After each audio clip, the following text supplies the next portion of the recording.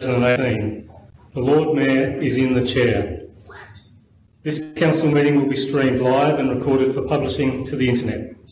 Please note that an audio and visual recording is being taken of this meeting. This means that your presence at and any contribution you make to the meeting may be collected, used, disclosed or published publicly by the council, including transferring outside of Australia. The red light to my right indicates that the meeting is being filmed and streamed.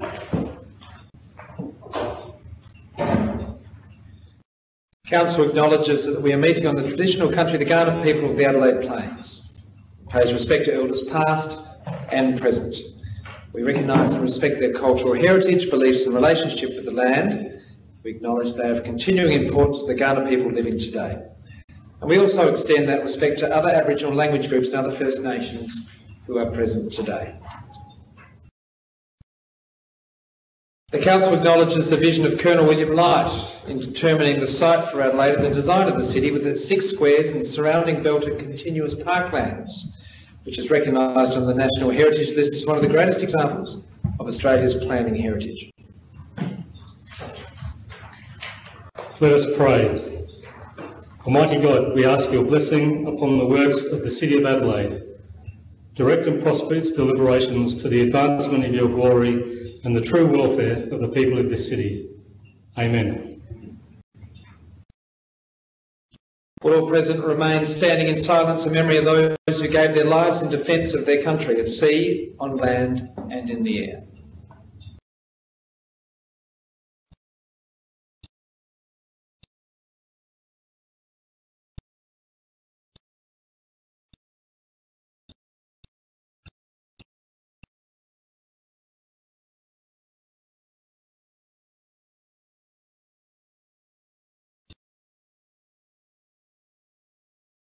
Members, ladies and gentlemen, please be seated.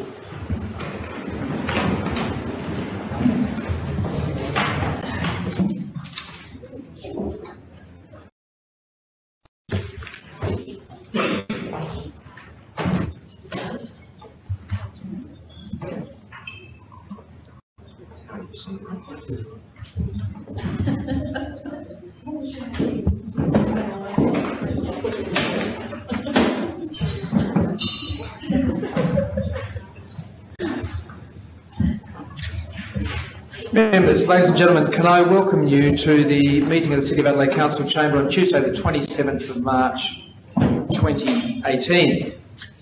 Members, item five on your agendas, which is apologies and leave of absence. Our only apology is Councillor Antic, who I understand is unwell. So I will take you on to item six, which is confirmation of minutes from the previous meeting of the City of Adelaide Council Chamber, which was held on the 13th of March 2018. Members, can I have a mover, please, for the adoption of those minutes? Councillor Clearihan, seconded by Councillor Wilkinson. Any queries, members, in regards to those minutes? I'll put it before you to adopt. Those in favour? Those against? Members, thank you. We've carried the minutes from the meeting of the 13th of March 2018. Members, item seven, we have three deputations this evening and three public forum deputations this evening. The first is regarding item 12.9 on your agendas, which is from Mr Rod Stoller, which is a deputation regarding the proposed ice rink event for Victoria Square. Mr Stoller, can I invite you please to join us and uh, the elected members will afford you a five-minute period and we welcome you to the City of Adelaide Council Chamber. Welcome, sir. Uh, thank you, Lord Mayor. Um, thank you, councillors, for the opportunity to uh, to discuss our proposal to run a winter festival, uh, which we would call Skating at Victoria Square. Um, we currently run winter festivals in all the other capital cities, state capital cities, um, at iconic locations such as uh, King, King William Square, Federation Square, Elizabeth Quay, um, St Mary's Cathedral Square, um, and in the civic area of Canberra. And we're hoping that uh, as a result of tonight's deliberations that we will be successful in being able to add Victoria Square to it. Our promotional uh, line is that you can do it in um, Times Square, you can do it in Hyde Park, and now you can do it in Victoria Square, Adelaide. Um, we've been, as a company, renowned for, uh, for the development of unique winter events and successfully delivered events, as I said, across Australia for the last four, four years. Um, this event would fulfil two of the strategic priorities for the council, and that is to activate the city in winter, and also it would attract an interstate event organiser delivering a range of economic and tourism uh, objectives in line with the City of Adelaide strategic plan. Uh, now, we are a Victorian-based company, and um, but one of our primary objectives is to work with the communities in which we deliver events. With that in mind, uh, we would only be bringing over specialist ice rink um, employees to actually run the ice facility, and that would be no more than two people. Uh, we would then be engaging all our staff locally here in Adelaide. We're already having discussions with a, a local event management company who would um, help us deliver all the, um, the operational elements. And um, likewise, we would use all local suppliers for the delivery of infrastructure that would be required for the event.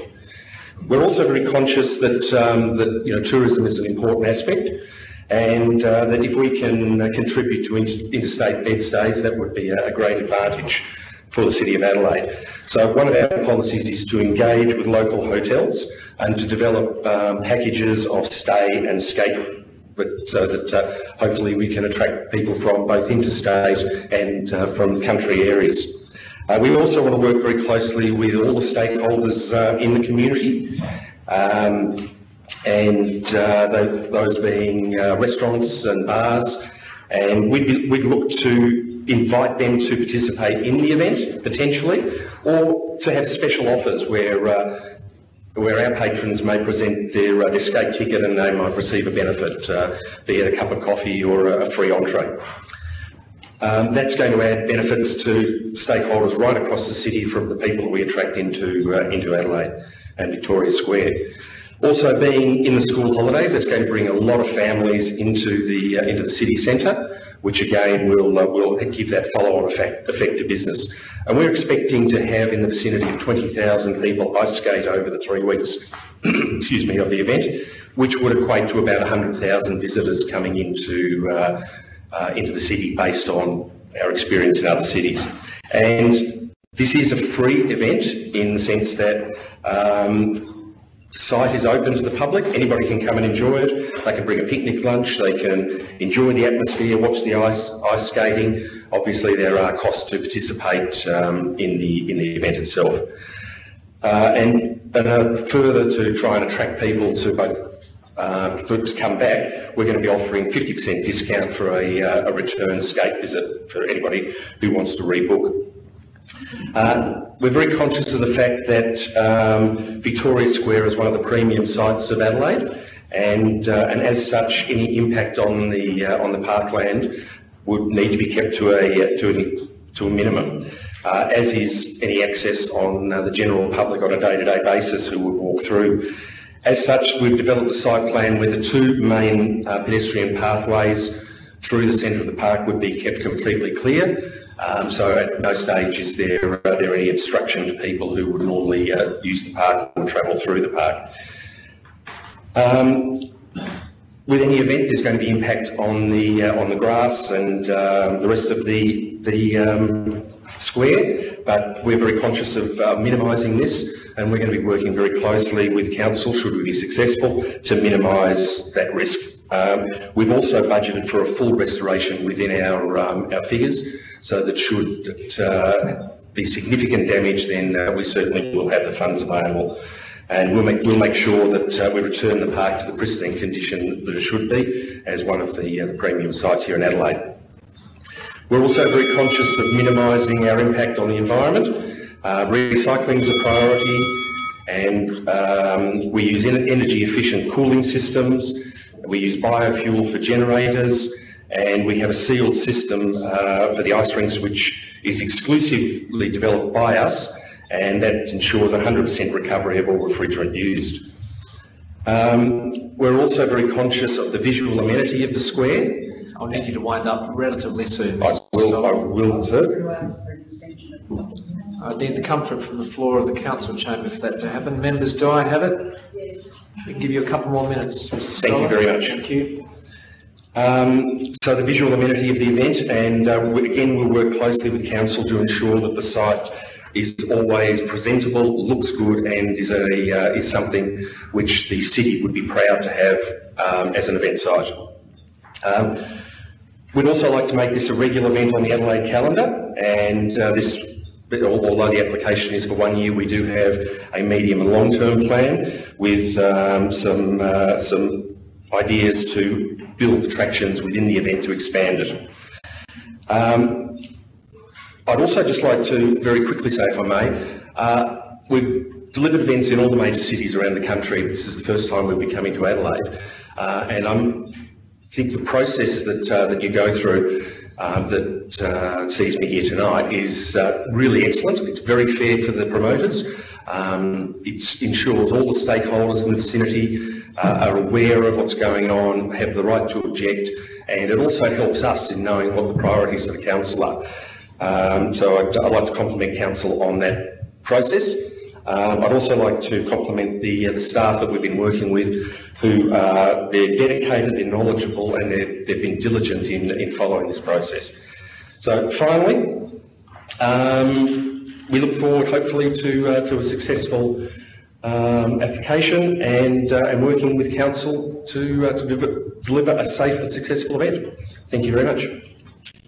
Thank you very much, Mr Stoller. Thank you for your deputation to the City of Adelaide Council Chamber. Appreciate it.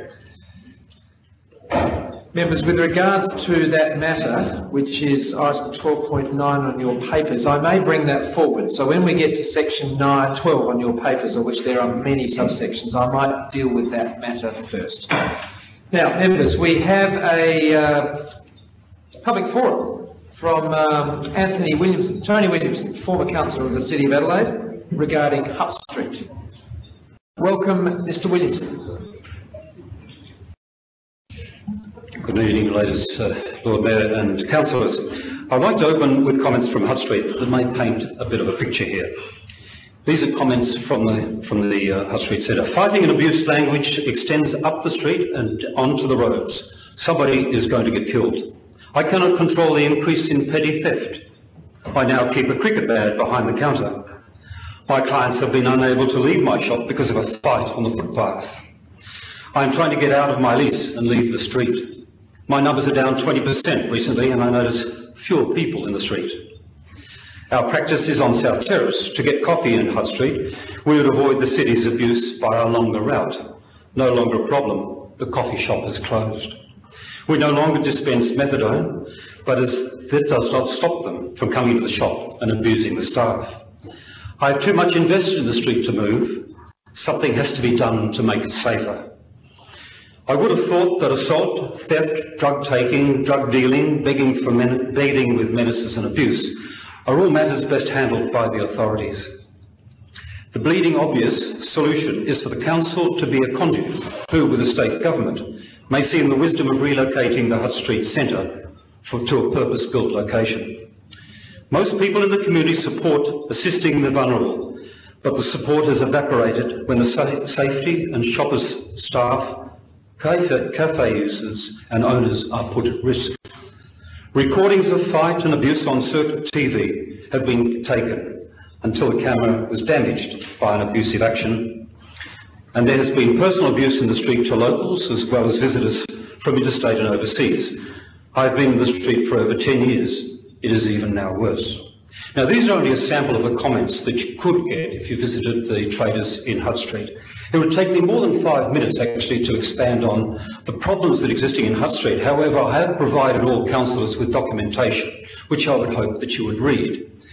And I understand that uh, there's no questions allowed out of this five-minute presentation, but I hope that uh, councillors may uh, approach me later on.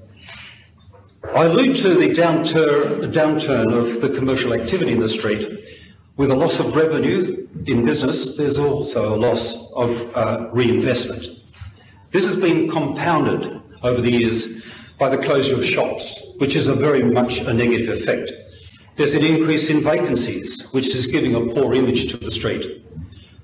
There's a frequent exposure in the street to violence and abuse. This is causing trader despondency and a great concern for the future. And there is an anger in the street which is worsening because of the lack of safety in the street. There's a call for greater protection and security to the public as well as to the traders. We see no, they see no hope in this ever being fully resolved if the Hutt Street Centre situation is not changed. Now, it's necessary in addressing this situation. I know that it has been mooted and proposed that maybe a traders association could be formed. And there was an attempt two to three years ago to do this. Unfortunately, it failed because of lack of support, uh, both from the individuals but also because of financial and volunteer participation. This uh, formation of a traders association would form a common, common, of common vehicle for the traders to approach council on particular issues. It would be used to address the business downturn by a combined effort. It would be used to promote the street, again by a combined effort. It would address, I believe, the issues of safety and security in the street. And it would also assist in approaching the difficulties that are had at the Hutt Street Centre. I beg of you that this is an urgent situation. It would take nothing to superimpose what was proposed two and a half years ago on a business uh, proposition where a business plan was done, a constitution was done. It would take nothing just to superimpose a traders association on top of that. Sorry, I'm not telling council what to do, I'm just suggesting it. Um, just, I'd like to finish with this quote from Tim Flannery, whose work on archaeology is well known. He states, the division of man thrives where there is peace and security, and is imperiled where crime and civil strife reign. And I think that's quite appropriate in this situation. Thank you, councillors. Thank you, Lord Mayor, I should say, firstly, and thank you, councillors. Thank you, Mr Williamson. Greatly it. Members, we have a deputation from Neoli Nanjokas regarding North Adelaide Parking Permit Scheme, which is item 12.3 on your agendas. Neoli, you with us this evening? Welcome. And the councillors will afford you a five-minute minute period, and uh, welcome to the City of Adelaide Council Chamber. Thank you, Lord Mayor. Thanks. Um, to the Mayor and honourable members sitting on the council, thank you for the opportunity to speak to you today on the North Adelaide Parking Permit Scheme trial. This is a very important issue for me. I want to impress upon those sitting here with voting power to please think of the residents like myself whose lives will be severely affected if the parking trial goes ahead. I'm vehemently against the proposed parking trial. Almost four years ago, I moved to North Adelaide in Buxton Street. The small bedsit unit did not have an off-street parking spot. I live in a block of 16 units and none of the residents have a private off-street parking spot. We all rely on untimed parking to park our cars safely near our home. Although not having a private park is inconvenient, the availability of these parks allowed me to make the decision to move to North Adelaide. There is no way I would have moved to North Adelaide if there was no untimed parking nearby. The stress and inconvenience of having to move my car every so many hours would have stopped me.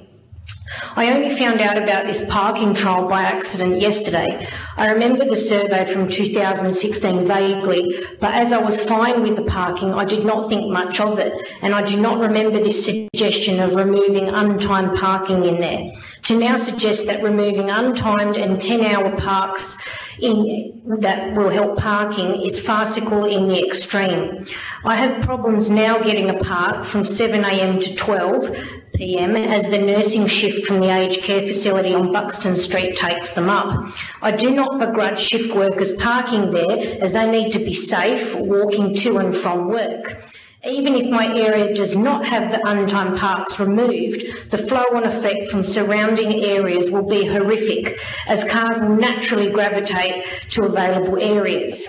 The amount of nurses from the Women's and Children's Hospital and the aged care home and also the Calvary Hospital makes it impractical to remove untimed parks. I personally have to walk sometimes a block in very dark conditions uh, very late at night so I can park in an untimed park. The stress of worrying about getting a parking ticket is very real for me as I'm a student on a low income. If you remove untimed parks, you'll make my life worse. I'll probably have to move. Part of being a livable city in Adelaide is having a convenient, available parking that even low-income people can access. The cynic in me feels that moving untimed parking to time parks will give ticket collectors a field day, and it's a very uncomfortable feeling to feel like the council is setting people up to fail. Shift workers will naturally drive in if they start or finish at two in the morning. It's just unsafe and unreasonable for them to, to expect them to do otherwise. But it's not just commuters who use untimed parks. I know personally of one friend on the disability pension who lives in North Adelaide and relies on untimed parking as she has no private spot. This proposed $2,145 permit would be out of her reach and mine, as well as many other people I know in North Adelaide. Please don't assume all North Adelaide residents are well-off people for whom this amount would be a drop in the bucket. This cost is prohibitive. If you want a vibrant city, then you need a mix of people. I rely on untimed parking on my street, and if you remove untimed parking in other areas of North Adelaide, you'll put pressure on mine. Please do not let business interests rule your decision. Many commuters also shop in these businesses. Removing untimed and 10-hour parks will not encourage people to shop when the parking is so prohibitively expensive or they're terrified about getting a ticket. When I have visitors at my home, it's very stressful having them come as they have to ensure that they're in an untimed park. Um, I don't want them punished for coming to visit me as a resident. Um, I think that's unfair, and I don't want them uh, like getting a ticket just because they've come to visit me in my home. As a resident, I'm entitled, just like anyone else, to have a space to park my car, no matter my income bracket. And I ask the council to respectfully vote no on this parking trial. Thank you for listening. Thank you very much for your presentation to the City of Adelaide Council Chamber. Greatly appreciated. Members, we have no further deputations or public forums, so I'll take you on to item eight, which is petitions, of which we have nil. Take you to item nine, members, which is the advice from Adelaide Parklands Authority and other committees. First of all, members, you've got advice to note from APLA from the most recent meeting held on the 22nd of March 2018 Members, moving as printed, Councillor Moran? Yes. Thank you. Do I have a second, please? Councillor Clearihan, any questions, members? No, I'll put this before you to adopt. Those in favour?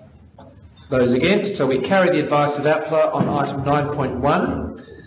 Members, I will take you to item 10, which is the Lord Mayor's report.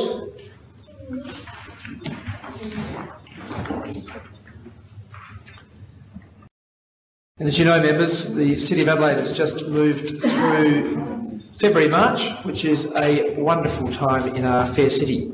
The Adelaide Fringe has well and truly exceeded its target and sold more than 700,000 tickets this year for the Fringe Festival. And the Adelaide Festival itself has sold some 356,000 tickets or attendances. Uh, and we thank our council staff who clearly have done an enormous job and always do behind the scenes to make sure that these festivals can uh, operate very smoothly. So, CEO, on behalf of the elected members, we thank you. The uh, Lady Mayoress and I attended a number of festival events during the opening, uh, during, the, during that time, uh, including the uh, Fringe Art Exhibition, which we had at the City Library, uh, the Adelaide Festival opening night itself, and a couple of Writers' Week events and a couple of shows. And I'm sure members, you've all enjoyed various shows over the last five weeks. Recently, Council successfully, successfully launched the 10 gigabit Adelaide network to local, national and international acclaim. So, councillors, thank you again for your confidence in 10 gigabit Adelaide. I think for those members that attended the launch event some two and a half weeks ago, you would all agree it was a very enthusiastic launch event attended by in excess of 500 people. I hosted a Lord Mayoral reception for the 2018 Adelaide Biennial of Australian Art a Lord Mayoral morning tea in celebration of International Women's Day with Multicultural Communities Council of South Australia, and a Lord Mayoral reception co-hosted by His Excellency uh, General the Honourable Sir Peter Cosgrove, AKMC, retired, to celebrate International Women's Day here at the Queen Adelaide Room in Adelaide Town Hall. Also attended a Women Rock the Square live music performance hosted by City Council and in conjunction with Music SA to celebrate International Women's Day. Hosted a regular Lord Mayor's Resident Forum group, attended the Council of Capital City Lord Mayor's meeting in Canberra recently, of which I will provide you with a report of that conversation in due course, members. Thank you to Deputy Lord Mayor Sandy Verschoor for hosting the Lord Mayor's Business Forum whilst I was in Canberra. Thank you, DLM.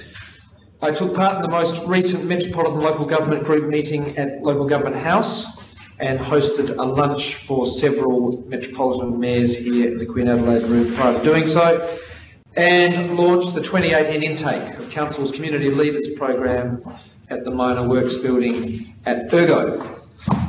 Presided over a citizenship, citizenship ceremony here in the Council Chamber conferring 41 new Australian citizens. Always a great, great pleasure to do so, members. I hosted the 30th anniversary of the Heritage Incentive Scheme celebration in Rundle Mall, and thank you to Councillor Sandy Wilkinson for also speaking at that event in support of the preservation of Adelaide's and South Australia's built heritage. Well done, Councillor. I took part in the recent Australia-China Business Council Business Leaders Reference Group meeting here at Adelaide Town Hall. I collected rubbish members as part of the City of Adelaide's 14th Clean Up Australia Day, which was attended by approximately 40 volunteers. We collected 40 bags of rubbish weighing 50 kilograms. Attended the groundbreaking ceremony for the new community sport and recreation facility in Ellis Park, Tampawardli, Park 24, an important modern facility will support the increased community use of our Adelaide parklands. Lady Mayoress and I attended the St Patrick's Day Parade at the Irish Club uh, and the Community Day at Adelaide Oval attended the opening night of the 29th Alliance Francaise Film Festival and the, Glen, the Greek Glendi Festival here in Victoria Square. Members, for those that went to the Glendi on the weekend, it was a spectacular success. I believe the numbers are up. It was terrific. The entertainment was wonderful, and I think the organisers are very ecstatic to be bringing that event into the City of Adelaide. I spoke at the University of Adelaide Business Leaders Breakfast event with guest Nobel laureate Professor Muhammad Yunus, which saw an MOU signed for a Yunus Social Business Centre to be established in the City of Adelaide in conjunction with the university. And members, for those that have not read about um, Professor Muhammad Yunus, please do. He invented the notion of microbanking and has done an, ex an extraordinary um, social entrepreneur, for want of a better word, and his achievements are quite incredible hosted guests the Welcoming City Symposium, had a reception here in the Adelaide Town Hall in the banqueting room, spoke about the importance of family-owned small businesses in the City of Adelaide at a 150-year celebration for Grundy's and Barlow Shoes. Now, members, this is probably the longest standing business in the City of Adelaide. It would certainly be the longest standing retail business, but this is in its seventh generation. On Saturday night, they had a private function upstairs in the banqueting room, and uh, we were very fortunate to be invited, and I spoke at the event. But seven generations of one family business in the city of Adelaide is something to be commended, I must say. It's an extraordinary achievement. And there were former employees, extended family members, and they had a celebration of about 120 people.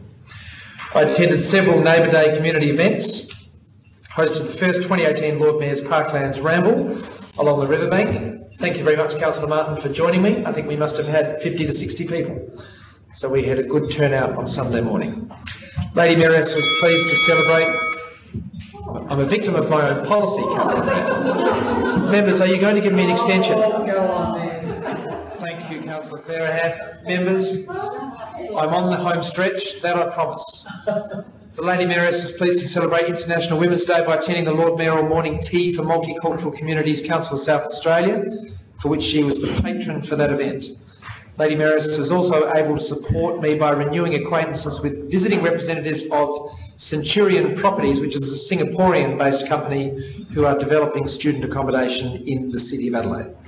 She also participated as a judge and spoke at the NAO Robot Dance-Off whatever that may be. At the City Library, a competition for primary and secondary schools, along with attending the 2018 Little Athletics State Individual Championship opening ceremony at Government House. And the Lady Mayoress also had a meeting with former Lady Mayoress Mrs Watson to gather further research towards her project called Her Story. Members, could I please have a member move that presiding member's report to be adopted? Moved by councillor Clearihan, seconded by councillor Corbell Moore. All in favour? Those against? Thank you. Members, I look to you because item 11.1 is your councillors' reports. Members, would any councillor like to speak to their report before I look to a mover to move and adopt? No individual comments, so members, you've got item 11.1, can I have a mover? Moved by councillor Moran, seconded by councillor Corbell Moore. I'll put that straight to the floor, members. Those in favour? Those against? We carry item 11.1. Thank you. So members, what I'll do, given that we've got a multitude of items to deal with in item 12 on your agenda, is I'm going to bring item 12.9 to the fore. So if you could please turn your attention to page 138 of your papers, item 12.9. You have a recommendation, you've heard the deputation. I'm in your hands, members. Councillor Moran. Moving is printed, seconded by councillor Corbell Moore. Would you like to speak to the matter, councillor Moran? Oh, just briefly, I think the, um, the uh, speaker outlined, um, the plans for the event. We've had similar sort of things in the city of Adelaide that have been very popular, and this does sound like a professionally run event, so I recommend the motion. Thank you, councillor Moran. Councillor Corbell Moore? Um, just that I think it's great activation and um, the proponent is somebody that we seem to be able to rely on. They are running these sorts of events across the country. Um, and we need to activate the city in winter time. So it's good to have activation down this end of the city. And on a personal note, my mum's a national champion for ice skating, so I look forward to going ice skating with mum on the rink. Well done, mum. Members, do I have any further debate on that item? Councillor Clearihan. Um, just, uh, one question of administration. Did we receive any other applications from local businesses, given that in the past we've had two applications from South Australian businesses to establish an ice skating rink? I refer that to our CEO, councillor Clearihan, CEO. Lord Mayor, I've been advised no, we haven't. Okay, um, and I just wanted to comment, it was very, very pleasing to hear of the, um, of the um, applicant's willingness to address environmental um, concerns. Thank you, councillor. Members, no further debate. I'm going to put you back to the mover, councillor Moran. So I'm done with. Members, I put this matter before you. Those in favour? Those against? So we carry 12.9 members, which will take me back to 12.1. And I will turn your attention to the welcoming people to the city, page nine. You have a recommendation to note, members. This is the result of a motion from May 2017. I'm in your hands. Deputy Lord Mayor is moving. Moving is printed. Deputy Lord Mayor, seconded by Councillor Moran. DLM, do you wish to speak to this matter? Um, Thank you, Lord Mayor. I need to thank the administration. It's a very comprehensive report and it's great to see how welcoming we are to people coming to our city. You're welcome, DLM. Councillor Moran. Uh, no, thank you. Members, I look to you. Councillor Clearihan. Um, just a question, Lord Mayor. I was wondering whether, I couldn't find, sorry, I couldn't find anywhere in the report um, any obvious attempts to promote our um, Aboriginal um, reconciliation room and our Kaurna cultural heritage. And was wondering, um, was there any reason for that not being included in the report and especially considering our reconciliation um, stretch action plan. Thank you. Good question, Councillor Clearihan. Uh, CEO, can I refer that to you, please?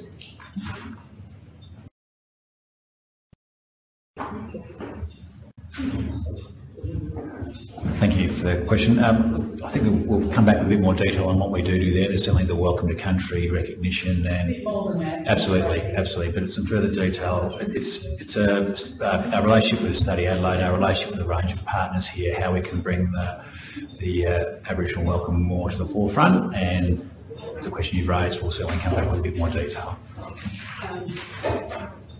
Councillor Clearihan, you'd like to ask another question? Yes, I'd, I'd really like it if we could cross-reference our reconciliation action plan uh, and also look at how we promote our reconciliation room as well, um, as well as welcome to country and acknowledgement um, to country. Thank you.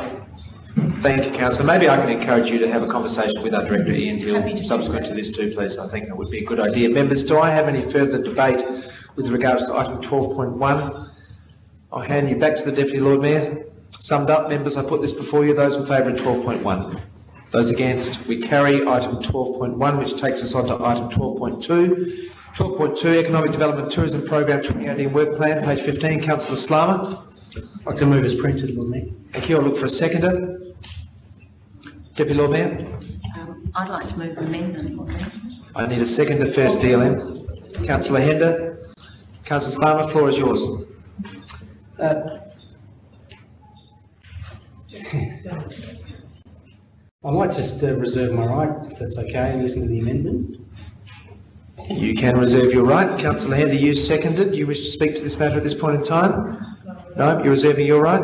So I now go to DLM. DLM? Thank you, Lord Mayor. Um, it's a, it's a sizable report. Uh, I'd just like to see if I can add a fourth point, uh, being that council requests administration conduct a workshop on the detail of the content of the plan prior to funding considerations. Okay, DLM, if you could please look to your screen to ensure that gets captured accurately and then... Thank you.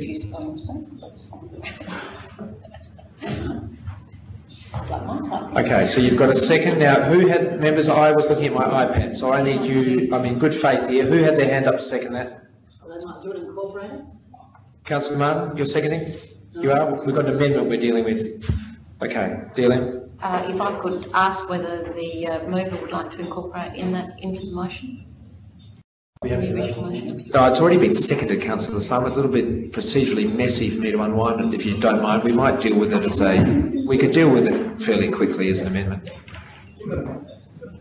Unless, councillor Martin, you are, are you happy for this, for me to reverse this process and take this as a variation? If that's the move. DLM, are you happy with that? All right, members, I am going to wind this. I'm going to go back to councillor Slama with a varied motion for which you can now debate, should you wish now. Thank you, Lord Mayor. I'll. uh, Sorry, councillor, do you agree with this variation? I agree with the variation and to take it on You board. do? I And will- does your second agree with this variation and the room takes comfort in this variation, I presume? Yes, okay. Councillor Slama, back to you with a varied motion. Thank you, Lord Mayor. I will um, reserve my right to the end. Okay. To your variation. You can continue to do so. Yeah. Now, members, do I have any further debate on this varied motion? Councillor Martin had his hand up first, Councillor Clearihan, and then I'll go to Councillor Clearihan. Councillor Martin, the floor is yours. Uh, Yes, Lord Mayor, look, I, I speak only um, in order to inform uh, any workshop that follows. Um, It is a substantial body of work and it's very hard to judge um, what the specific proposals mean. And therefore, I would be looking for some guidance in regard to what it is that the actions are that are proposed in relation to the Qingdao Tourism Bureau Memorandum of Understanding, what it is that this marketing platform that we're proposing to create for retailers is all about, why we're proposing to promote retail uh, take-up of Google My Business. Um, I'd like to know more about the strategic sponsorships that are identified at page 37, including Hybrid World 2018, the ongoing relationship with MasterChef. At page 51, we're committed as a council to advocate for migrant reform, but which reform is not clear. Uh, I'd like to understand more about that. And then I'm not sure about the funding proposal related to uh, the Vogue Film Fest, uh, Fashion Festival, rather, at 22, 26 and 42. So there are many things in there that I, I think all of us would benefit from if we had a bit of an explanation. That's why we have a workshop. Certainly, Councillor Martin. Now, Councillor Clearihan. Thank you, Lord Mayor. Um, look, I just wanted to raise the issue of um, the opportunity to promote, we talk about promoting our heritage, uh, and I've lost my page, but um, I just wondered whether there was a further opportunity to um, enhance the heritage offering of the city by um, preparing a list of hotels, um, B and Bs and Airbnbs that are actually heri- provide heritage accommodation. It doesn't seem to be an option, an obvious option available, and I just thought that that um, may be another way of um, promoting our heritage offerings.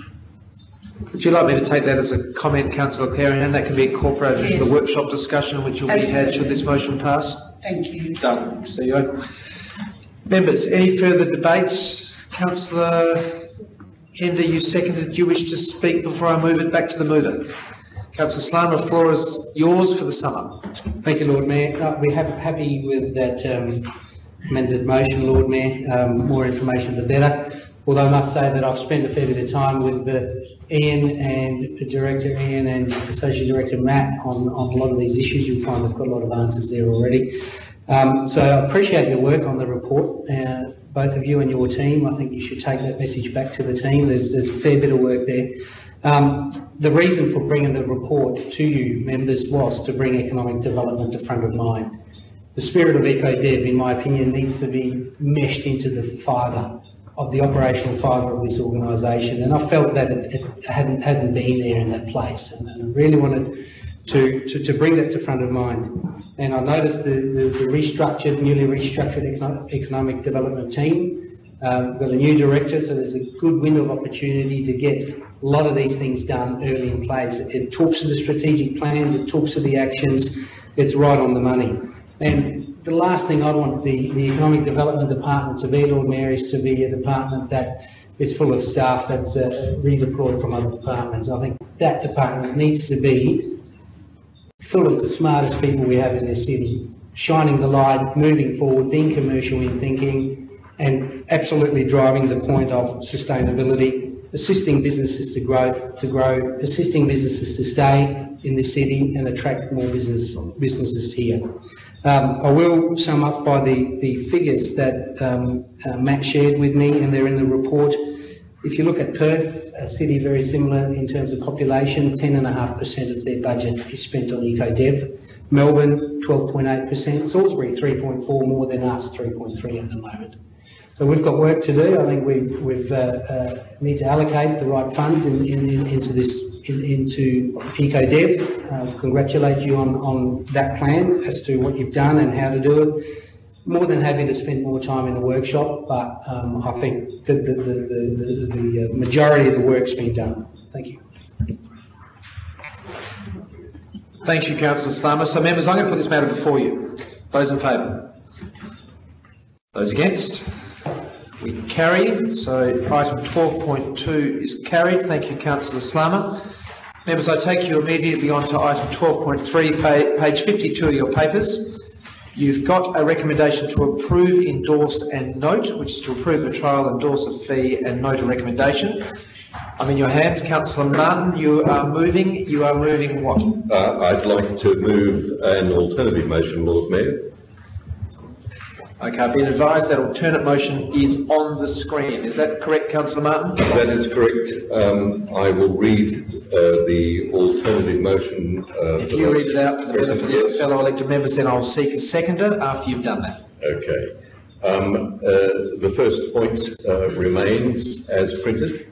There is a new second, uh, or an amended second point, which reads, endorses an annual premium parking permit for $1,500 to be included in the City of Adelaide schedule fees and charges payable either annually or quarterly and subject to review six months after the issue of the first premium parking permit. Three, requests the administration present to council no later than July 2018 a business permit approach and eligibility criteria. And four and five are uh, as printed as three and four.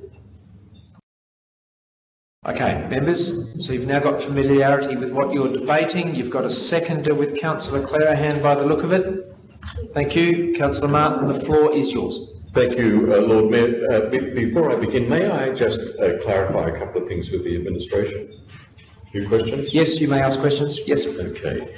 Um, Can the administration uh, provide an an assurance that there will not be any change for current permit holders? Um, through the Lord Mayor, that's correct. No change whatever? No change to current permits. That is Or- cost or location? That's right. Um, and, um, can I ask then, who will benefit from, from the reforms if, if not the current permit holders? Um, through the, through the Lord Mayor, if all of the recommendations are adopted, we believe that there's the opportunity for everyone to benefit. So every resident has the opportunity, would have the opportunity to um, get a permit to park on the street where they don't have that opportunity now. Um, and for, and in addition, because we will be relaxing some of the criteria for the residential parking permits, there'll be people who have previously um, been declined a parking permit that would potentially get one under the new scheme.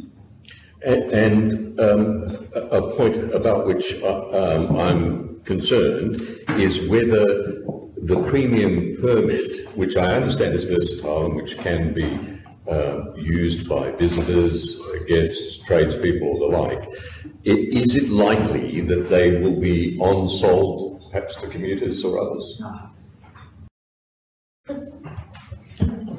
Through the Lord Mayor, we make sure that the conditions attached to the permit prevented that from occurring. Uh, That is, there would be a, a- a specific prohibition on, on selling or That's right, so we'd make that a condition of the permit. Okay, Uh, and I I note that fifty percent of the untimed zones are being wound up, but fifty percent will remain. How will that be determined? So we'll deal, through the Lord Mayor, we'll deal with that on a street-by-street basis. um, And our proposal is that we would share exact, the exact plan with elected members in a design room session in April. So we'd be looking to make sure that we're balancing um, where we're removing the unrestricted parking and where we're keeping it on a street-by-street basis. So, Councillor, I'm going to need you to start debating soon, because that's four questions, and you have had some days to ask these, so have you got any more? um, well, uh, I was uh, just going to ask the nature of that. So it can be specific streets, is what you're saying? Through the Lord Mayor, that's right. Yep, okay. Okay, floor is yours, councillor Martin. Thank you, Lord Mayor. motion. Look, uh, my, uh, my first preference uh, would be uh, to be here um, advocating for every ratepayer in North Adelaide to have a on-street parking permit. But um, that is not possible, I understand that, and uh, research that was done through the local area traffic management plan shows that there are um, 4,700 parking spaces and um, 3,500 residential dwellings. So if you gave every uh, house a, uh, uh, an on-street permit, there'd be precious little left for visitors, shoppers, businesses, uh, local workers.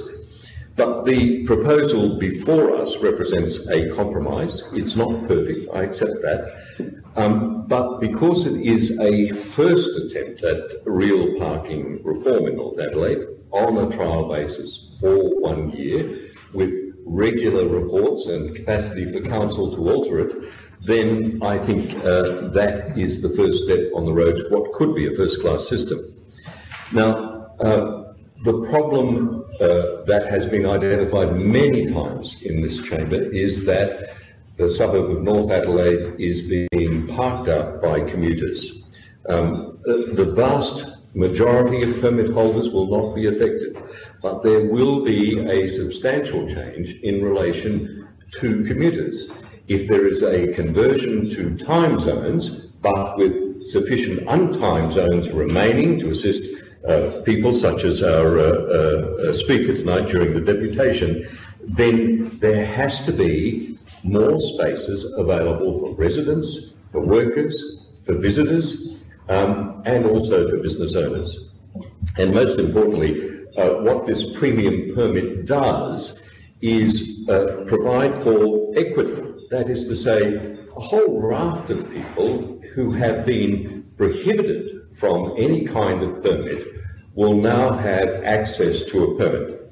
And yes, there is a cost. I accept that. And because this is a trial, that cost may go up or down on review. And it may be down. That, that may well be an outcome. It may be that council needs to consider a way of even means testing that, if it turns out that that becomes a problem. But the, the point is, there is an inequity. If you live in a pre-76 home, and I do understand why it exists, you have an entitlement without parking to up to two spaces on the street. If you live in a post-76 with no parking, you have no entitlement. And so this represents a chance to uh, restore some equity to the system. Now, um, the other thing that I'd say is that um, we can end that discrimination um, for a cost. May I have a minute more, Mayor? Members, I look to the floor. I have a consensus. I have a majority. Councillor Martin? Um, eh, I, I have to say, it seems prohibitive, but if, as the motion proposes, that it can be paid in instalment, it is less. And the cost is about four dollars a day. That is about a cup of coffee. Now, that will then uh, uh, be, I think, a reasonable price um, for a trial. Now, uh, the other thing that I would like to say is that um, the motion asks the administration to report to us by July on the other inequity in the system, and that is that business, which pays a higher rate in the dollar than residential ratepayers, has no entitlement whatever, even when they have no parking, when they're in a pre-76 building without parking anywhere, they pay a higher rate, they have a less entitlement than a resident. And I think that's inequitable. This is a step in the direction of addressing that by asking the administration to have a look at how we might do that and to report back to us by July on what kind of eligibility criteria might be appropriate. Now, I acknowledge this is difficult. I understand that there are going to be concerns, but I think sitting on our hands and doing nothing, that is uh, advocating for the status quo uh, without any uh, plan for change or reform at any time in the future, is just going to bring more of the same. And more of the same is not working. It is not working in North Adelaide. I ask members to seriously consider this uh, and at least give it a go. It's a trial. Thank you, Councillor Martin. Now, we've got Councillor Clerihan who seconded the alternate motion, followed by Councillor Abiad, then Councillor Moran. I'd like to, um, Reserving your rights? Reserving your right, I'll help you with that. Indeed, now I've got Councillor Abiad. Yes, Councillor Moran. I am going to move, Lord Mayor, a deferral of this item um, to look at the premium parking permit and the quant- quantum of streets that are going to be the fifty percent um, of the street, unlimited streets, the effect on that to the unlimited streets. Okay, so Councillor Moran, you are looking to defer the item in its entirety, is that what you want to I do? think so, yes. Look, uh, if I could pick out. I just need a seconder before you start debating as to why, Councillor Moran. So yeah, sorry, to a workshop. you'd like to defer this entire matter to a workshop Yes, with the view to bringing it back to council but when? there are only two points that I want to discuss at the workshop. Sorry, councillor, I just want to help you with your motion to defer. You'd like to defer this matter to a workshop with a view To of bringing it back discuss- to council, is Yes, that correct? Yes, and, and Okay. next, next committee. Okay, yes. we'll capture the wording of that, please, as a proposed motion to defer, which really is an amendment. Councillor Malani, you've seconded? Okay, so Councillor Moran, you can now speak. Okay, I'll, I'll read you out, uh, the three problems. The premium, um, premium permit, which is, just blows my mind, um, and the fact that we're only doing fifty percent of the, um, unrestricted streets, which as I think, as the speaker said, will force a lot of trapped cars into the bit we don't do. So I, I need the rationale there, uh, for these two. Now, I'll read you out the, um, message I sent to my colleagues. Uh, I do not support a premium parking permit at any cost. This allows the rich people to buy parking permits that lower income people can't afford. Imagine the headline, wealthy family with many off-street car parks buys an on-street car park permit, while struggling mother of teenagers gets fined while her kids, when her kids park in the street because she can't afford two thousand dollars. And I said, scrap this terrible idea, it will just feed into the snobby, untrue impression of North Adelaide. Um, we are basically selling, there's no criteria here, this is why I want to discuss it. We may have to put criteria, there may be very good reasons to have some that are, um, that are sold on because of the 1997 rule that um, you couldn't get a parking permit if your house was built after that. Now, if we just limited a, a slight fee permit to those people, I could swallow it, but we're not. Um, these will be sold on, I can't see any reason why you wouldn't, they're not attached. But it is just the whole thing of selling something, to, to selling a car park in the street. It's, it's very elitist, it's very, it, you just shouldn't do it. I can read the headline now. Uh, every person in the richest streets will buy one so that they can um, park in front of their house or their visitors can. They'll be snapped up like that. Houssam said maybe we could means test them. But we are going ahead with this if we don't defer it now. You can't, it's very difficult to take a parking permit away from somebody. So let's pause before the tsunami of terrible public opinion drops on us. The other thing I'd like to um, to have another look at is why we're not rolling it out on all unlimited streets in certain sectors, so that the track, the part, the all-day commuters aren't forced into the ones we're not touching. I need that to be looked at. The rest is fantastic. I mean, I really would have, when I moved this first, I did envisage that every person who is a resident or a business owner would get a residential sticker on their on their windscreen. I still am not convinced by the figures. Um, they are taking taking the view that if everybody park all at once on the streets, there's not enough room. That's not how parking works. Park, park, people park in their properties, sometimes out of their properties. I, I would still put that up at the next election as something that I'd like to revisit. That said and done, I think the staff, the administration have done a fantastic job on this much more complex um, uh, model, um, and I think it can work. Um, but I think there are two things. We must not sell our public parking spaces to the wealthy, and we must find, work out what to do with the people that don't get permits because their houses were built after 1997. We've also got to work out what we do with the streets that we don't intend to restrict because they will get parked out like we're all parked out now. Okay, uh, Councillor Mann, 1976, I think is that cut-off date, not 1997. Councillor Moran, can you please just look to your screen, before I move to your seconder, who was Councillor Malani, can you just double confirm with me, please, that what you've got in red is precisely what you're looking to move as an amendment to defer?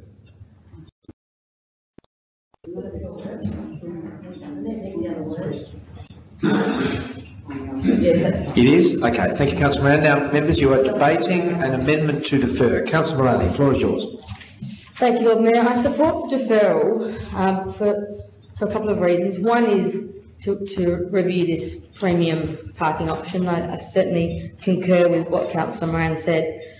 Two, for the for the 50% untimed parking and to assess that. My view, though, is from the other perspective of Councillor Moran to work out why we do need that much untimed parking. So I'm interested in, in having that sort of um, uh, discussion around that.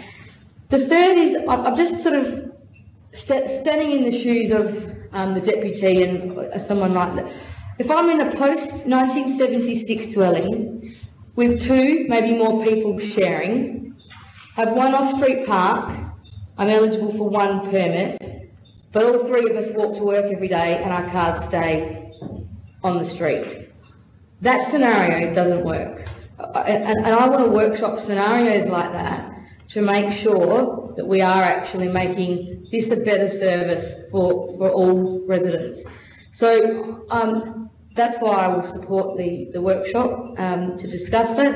And I put that scenario as a hypothetical because for me, and I, and I, want, I don't want the answer now, but I think we need to, to look at some of those scenarios where I don't think everyone is going to win on this. So um, I, I support the workshop. Thank you. Okay, members, we've got, we're speaking to the amendment to defer. Councillor Wilkinson. Um, yes, I support the amendment because I think we should be looking at all of the commuters' parking spaces because doing half is just going to intensify you- you'll just see those, half that space parked out at seven oh one or six fifty-nine in the morning by commuter parkers, and that will make it worse for, for, for someone who lives in the area. My intention was that, that all residences not get a specific permit park, residential permit park, but that the time value thing doesn't apply, as in Burnside Council says, uh, three-hour parking limit, residents accepted. That's what I had in mind at, at, at no cost. That said, um, parking does have a value, and if people park on the street, if they choose to park on the street rather than parking on their own property, they're increasing the value of their property. And, and, and that does have a value, and that ought to, ought to weigh into it. So that's why I think that this, this uh, has some merit, this premium thing, so that people who are outside the criteria do have the opportunity. But I think it's worth us looking carefully how we do it. But um, people pay less rent because the place that they rent doesn't have a car park. They pay more for a property if it's got more parking, so it's factored into what people buy, buy or rent a property for. That said, there are probably landowners who are basically capitalising on the fact that council provides free parking on the street currently, and that situation may change. So I, I think it's worth having the workshop to review some of those factors. Okay, so members, can I remind you, you're speaking either for or against the motion to defer, which is an amendment to defer, so you're spoke, you're speaking in favour of it. Councillor Martin, speaking regards to the amendment to defer. Yes, I am, Lord Mayor. Um, look, uh, can I ask the administration why it was proposed that only 50% of untimed spaces be converted to time spaces?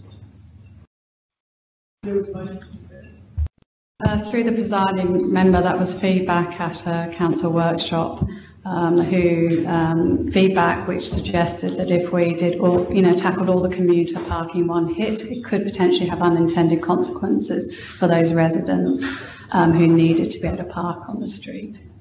Uh, Thank you. And that's uh, precisely the point that I was seeking to ma- uh, to make. That is to say, Councillor, if you knew the answer, why did you ask the question? uh, because I, I thought it was better coming from the administration. We have traversed this, Graham, Lord Mayor. Indeed. We have Are you, are you debating for or against the I'm, motion? I'm debating against it, Lord Mayor. Uh, we, we, we have paced every square metre of North Adelaide parking. I can't tell you how many workshops we've had. I, I think it's five. I'm not sure, but it'd be around five. We've had a public consultation that included a mailer to every resident and every business in North Adelaide. We had four public meetings after the mail out. I went to them all. We then had a couple of public meetings after the recommendations came out. I went to them all. We had separate meetings with the North Adelaide Residents Association, the North Adelaide Precinct Association. I spoke tonight to the North Adelaide Residents Association. They love it. I spoke to the North Adelaide Precinct Association and Councillor Wilkinson was there at their meeting last week. They are keen to get moving. What they don't want to see is yet another deferral. Can we not move forward instead of re-questioning every time a proposal is made? It is a trial that's being proposed, and a trial by its nature means that it may work or it may fail. If it fails, it's adjusted. But to sit here constantly on our hands saying, oh, I'm not sure about this, and I might have to fight this at the next election, it just makes us look like we can't make a decision. I can't imagine how you could research a subject better than this council has over the last three years. It has been a painstaking, tedious process, and the administration, to their absolute credit, have found a way through all of the obstacles to give us the best possible chance of succeeding. And now people are saying, oh, not sure about this. Well, Lord Mayor, if we're not sure about it tonight, it's not going to be any clearer after another workshop, or one after that, or another motion. It's either do it or forget it. Thank you, Councillor Martin. Councillor Hender. Just really briefly, I'm also um, speaking uh, in support of the deferral. And just to take up Councillor Martin's point, which I, I think is a fair point, but this does raise a very significant issue, and it's a, it's a policy issue. Are we going to charge people um, uh, or apply a, a, a, allow people to buy parking on the street for the first time ever? Um, and I think that just does deserve some proper consideration and some, and some proper discussion. And I understand the administration have given it proper consideration, but I don't think we as councillors have been involved in that, that bit of this, this motion and, I- and I, and sorry, that bit of this proposal, and I would like that opportunity. So I think we're deferring it just for a couple of weeks so that we can have the chance to have that discussion would be valuable for me. And I think it might also be valuable for us if we have to justify it, um, a, a better, a deeper and better understanding. Thank you, councillor Hender. Members, any further debate on the proposed amendments? That's what we're dealing with at the moment. Councillor Clearihan, you're debating the amendment? Yes. Um, look, Lord Mayor, I was happy to second the motion, but I'm also very happy to defer it because there are obviously issues that need to be reconciled. This is a major policy shift. We will be the first capital city in Australia that will be offering down the track um, permits for businesses. I think, you know, I'm not aware of any other capital cities? Melbourne. Okay, so it is a major, well, Yarra is not the capital city CBD as such, is it? No. No, so we, this is a major policy change and there will be lots of questions. And there is an issue around those people who are living in premises that don't have any car parking whatsoever. And they are, there are a lot of share houses in North Adelaide. One, because of the size of the houses, and two, because a lot of buildings were built after 76, such as blocks of flats, and they chose not to provide on-street parking to increase their return and the number of residents. So I am concerned that um, people will be disadvantaged and we need to iron that out. It will only be a week away, and if we can iron out some of those issues and provide reassurance to many, I think we, I'm very happy to do that. Okay, members, no further debate. I can't see any hands, so I'm going to hand you back to the mover of the amendment to defer. Councillor Moran. Yes, thank you, members, for your support. It is a huge thing to do, to sell off without any uh, criteria, a street park to the wealthy. And I can assure you that um, it won't be the, the people that you think it will go to. It'll be the people with a lot of off-street parks because they like to have their parks out the front of their street and their visitors too. Um, and we all, we all know that's the case. So we, we can't shut the barn door once that starts by selling all these. You have a line of North Adelaide residents que- queuing to buy these because they won't know whether they'll get a permit. They don't care and so forth. So you just mustn't do it. And then you can't refund their money and say, oh, I've changed my mind. So many. Uh, we've heard uh, the problems of uh, people in um, in Buxton Street. Um, then the solution is to give out more permits. Give out more permits. But if we're selling permits, there's only a finite number of street parks. So that's taking it from the people who can least afford and most need an on-street park. North Adelaide's an unusual suburb of very large properties, then going down to very tiny properties, and a lot of, it's actually the most densely populated um, suburb in Australia. So there's lots of cars and there's very few car parks. We must not sell them. Um, I, I can't believe I even need to say that. We just cannot sell our car parks to the wealthy to the detriment of the people who need them and can't afford them. And if anybody thinks $1,500 is easy for a young family or a student, it's not. It's out of their realm. I don't know what price, if you get it too low, then everybody's going to buy one. But uh, I think the whole thing of um, selling permits is disgraceful, and I think at least we should, if we're going to go ahead with it, we should at least have a, a, a workshop so we can explain it to people, because I can't understand it now. The only explanation I can think of is the 1997 1976 uh, rule that after that people were supposed to uh, uh, supply car parking for their development, so therefore they didn't get any street parks. So that's that's a bit of a problem, but I think we could soften that rule and give some permits to the, the um, post 1976 people when, it, when there's, they can prove need, as often people can. But do not sell off our streets to the rich.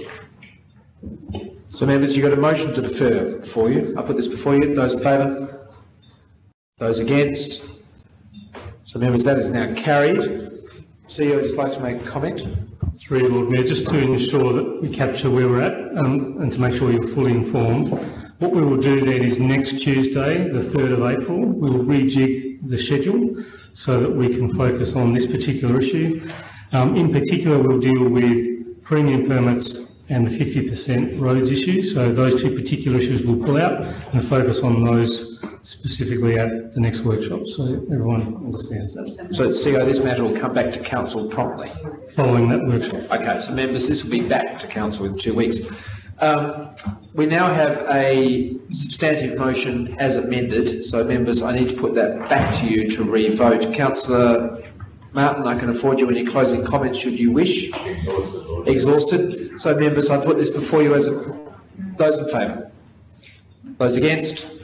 Carry. Members, I take you on to the next item, which is a report to note, which is 12.4, transition to carbon neutrality, page 93 of your papers, members. Moved by Councillor Martin. Councillor Martin, are you moving as printed? Yes, Do I have a second, members? Councillor Hender, Councillor Martin, do you wish to speak to this matter? Yeah, I do briefly, Lord Mayor. Um, uh, only to say that um, uh, this matter uh, requires further discussion on a couple of grounds. Um, not least uh, that according to the information provided, uh, our capacity to meet the zero carbon emissions target by 2020 is uh, seemingly in peril. Um, in fact, uh, all of the carbon emissions over which council has control, that is through property or assets it owns, have gone up uh, by 10%. And so we need to have uh, a discussion very quickly about that.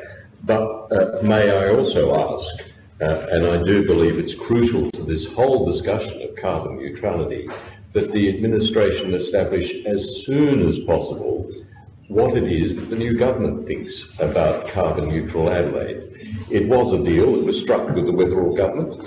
The Weatherill government agreed to partner with the city and particularly in the costs associated with that.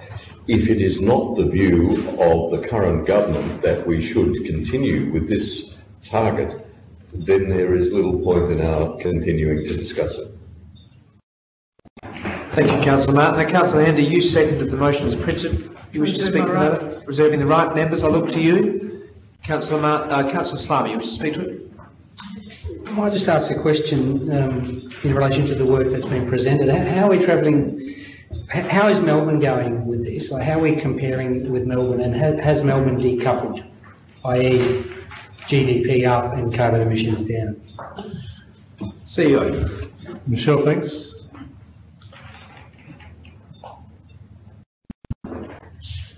Um, Yes, through the Lord Mayor, um, I can speak to um, the City of Melbourne um, in terms of what has been publicly um, published and their latest um, emissions inventory. So the City of Melbourne actually has um, a target currently to be carbon neutral for its community by 2020. Um, Their their policy, which was released in 2014, actually um, provides information that between 2008 and 2012, they had a 1 million uh, tonne increase in carbon emissions to about 5.99 million tonnes of carbon compared to we've got under uh, 1 million tonnes of carbon. Um, in their latest, so that's their strategic document, in their latest um, disclosure to the Carbon uh, Disclosure Project, which is the international platform for cities, uh, they may have calculated it differently because it doesn't provide back years, but they, uh, it indicates they've got 5.3 million tonnes of carbon, so significantly larger than ours, and they, uh, for all intents and purposes, anything we can see, they have not decoupled. Does that answer your question, Councillor Slama? Thank you. Members, any further questions, queries or debate? Councillor Clearihan. Just a question, Lord Mayor. Um, I understand you were signatory to the Global Covenant of Mayors for Climate and Energy. Could you please remind us of that contract? Certainly. Uh, Councillors, in December 2015, at the Paris COP21 on your behalf, I signed the uh, Compact of Mayors as it was known then. And at that point in time, uh, there, I think we were the 43rd city, if my memory serves me correctly, councillor Clearihan, that had signed that compact. There are now in the hundreds. We then, within six months, were fully compliant. And what that means practically is we are fully, fully compliant for the purposes of being audited. And we were fully compliant, I understand, within a period of about six months, which was a very short period of time. And that is a credit to the work that our team has already done in terms of measuring carbon output over years previous. So we were able to show that we could comply with the rigour associated with signing on to the compact, now called the covenant. The state at the same time signed, the Premier, former Premier, uh, Joe Weatherill, signed the Compact of States and Regions at the same time. So we were the first city uh, in Australia who concurrently signed with their state or their province, so to speak. Um, and I understand that was quite unusual, certainly on the Australian landscape. Um, so we are in a position where we can now regularly report our carbon output in our city and signing the covenant provided us with the rigour whereby we could do it. Michelle, does that answer the question adequately, I hope? Um, through the Lord Mayor, yes, more than adequately. Thank you. Thank you, Councillor Clearihan. And the reduction in greenhouse gas emissions for the corporation is reported for the last financial year. Now, is that, that's because we've changed the way we're measuring to fall into line with Sydney and Melbourne benchmarking or for some other reason? Michelle. Um, through the Lord Mayor, so we've prepared inventories for the last two financial years, which you'll see before you. We've prepared those in accordance for the first time with the National Carbon Offset Standard, which is a standard that's put out by the Australian Government. So you can't claim to be carbon neutral in Australia unless you have complied with that standard. Um, so our accounts are are basically in accordance with that now. In the past, we've we have we have been reporting uh, on inventory since the late 1990s, uh, but that standard didn't come into place until 2010. So over time, standards and what you report on um, have become more comprehensive um, and more standardised globally as well. Thank you. Thank you, Councillor Clearihan. I don't see any further hands, so I'm going to go back to the mover, Councillor Martin. Members, I put this item before you. Those in favour? Those against? Members, we carry. Item 12.4, which is a report to note. Members, item 12.5, Sir Donald Bradman Drive tree removal, Ellis Park, Tampawardli, Park 24, page 100. Councillor Hender, you are Happy to move as printed. moving as printed. Thank you, councillor. Do I have a seconder? Councillor Martin, councillor Hender, do you wish to speak to the matter? Councillor Martin, do you wish to speak to the matter? Members, councillor Wilkinson. Um, just interesting reading this report that the, uh, the pines, uh, Aleppo pines are described as weed trees, yet some of the most magnificent trees in Adelaide's parklands, think around the zoo down near Frome Road, along uh, Hackney Road, uh, magnificent Aleppo pines. Uh, I think it's, um, it's unfortunate to be agreeing being described as weed trees, and are we up for a monoculture of eucalypts and gum trees in, in our parklands? I think exotic trees have a place in our parklands. Um, these are perfectly healthy specimens. I would have thought we would have been able to um, plant our uh, avenue of, of gum trees. I know this is the gateway from the uh, from the airports it makes sense to have indigenous uh, native trees for international visitors coming into Adelaide, but um, I just caution against this sort of uh, ethnic cleansing of, of, uh, of, uh, of trees in the parklands. Thank you, councillor. Members, do I have any further debate on this item before I move you back to the mover? I'm going to comment on this one too. I completely and utterly echo Councillor Wilkinson's views, I must say. I think that um, uh, European and other species absolutely have a place in our city. Members, I go back to the mover. Summed up. Summed up. Members, I put this before you. Those in favour? Those against? We carry. Thank you, members. Members, I take you on to Item 12.6, page 107 of your papers, you have a recommendation to support and note regarding park, car park management, Rundle Park. Councillor Clearihan, seconded by Councillor Moran. You are moving as printed, Councillor Clearihan? You are, Councillor Moran? Would you like to speak, speak to the matter? Only to say, Lord Mayor, this is a long time coming. I think many of us have been contacted over the years by members of the bowling club to say that they've had to take their life into their own hands to act, to get across to Dequetteville Terrace in order to be able to use the facilities at the Adelaide Bowling Club.